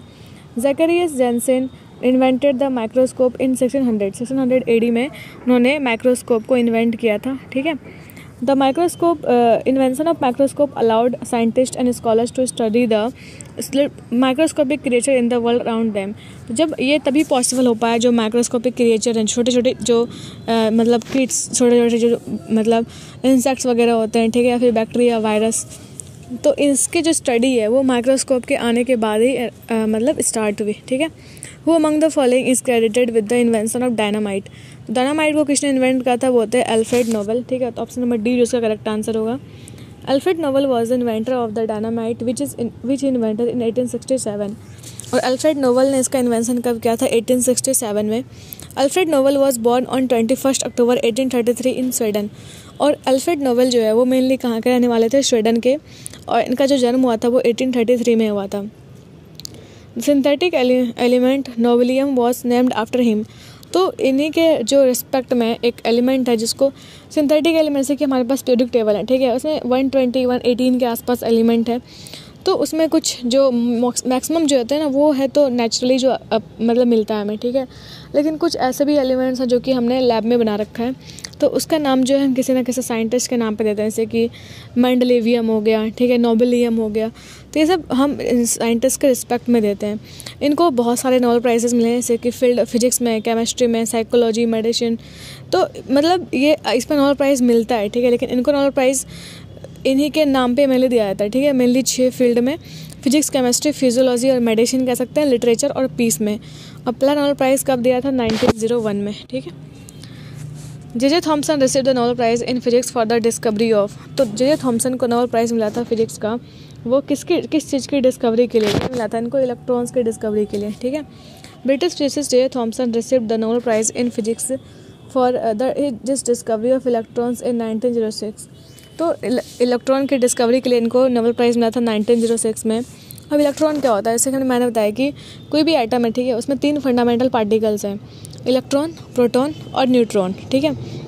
तो इलेक्ट्रॉन जो निगेटिवली चार्ज पार्टिकल है प्रोटॉन तो पॉजिटिवली चार्ज पार्टिकल है, और न्यूट्रॉन में तो कोई चार्ज ही नहीं होता डेट इज़ न्यूट्रल पार्टिकल ठीक है?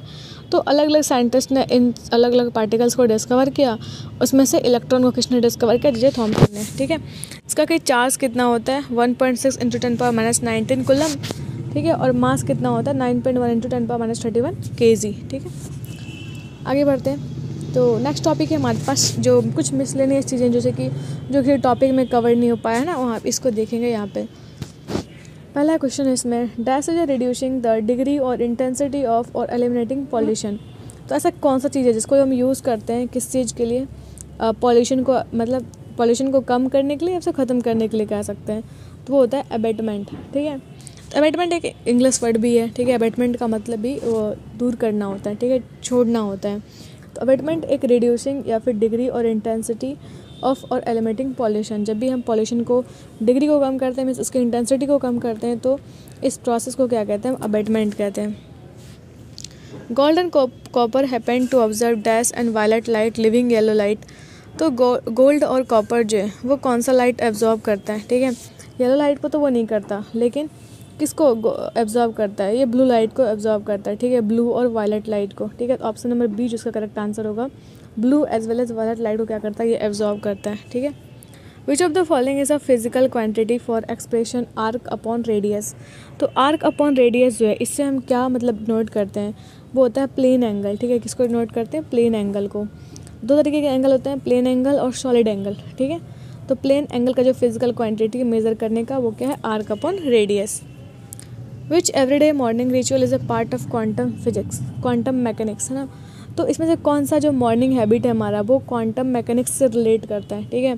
तो ये तो हमारे पास है ringing of an alarm clock ठीक है? Among the given option ringing of an alarm clock is a part of quantum mechanics क्योंकि जो क्लॉक है ना, वो भी पूरा मैकेनिक्स के हेल्प से बनाया गया है। Quantum mechanics is a science which deals with the behaviour of matter and light on the atomic and subatomic scale तो क्वांटम मैकेनिक्स में मेनली क्या करते हैं हम?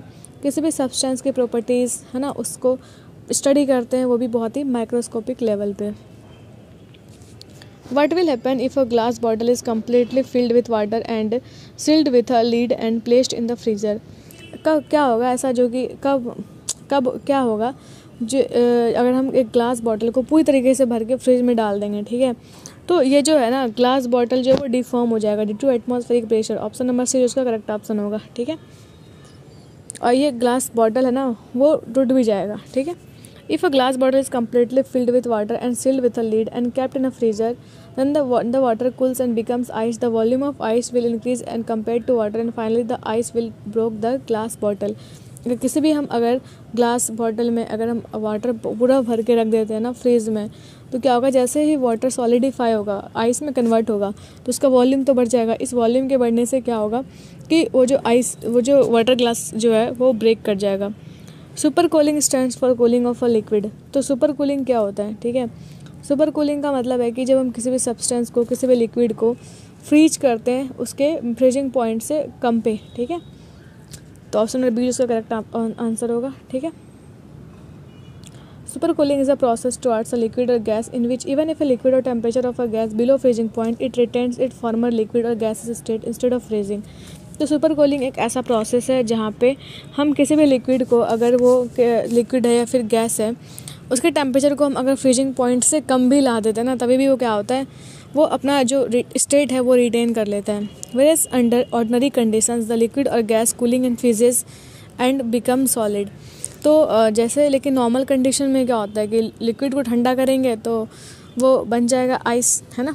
मतलब सॉलिड में कन्वर्ट हो जाएगा, ठीक है?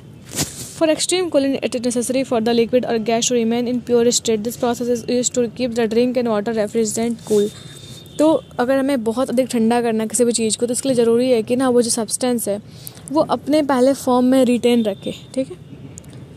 Alcohol is more volatile than water because dash is lower then water तो एल्कोहल जो है ना, वो बहुत अधिक वोलाटाइल है इन कंपेरिजन टू वाटर ऐसा क्यों?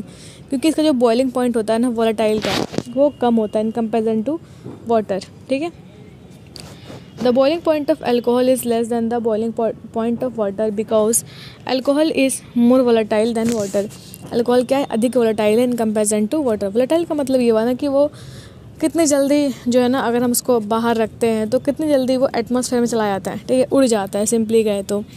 The reason for this is that the alcohol is less polar then water because water is more polar और इसके बॉइलिंग पॉइंट कम होने का क्या रीज़न है? क्योंकि अल्कोहल जो है ना, उसमें पोलरिटी नहीं होती, कम होती है पोलरिटी वाटर में बहुत ज़्यादा होती है पोलरिटी ठीक है?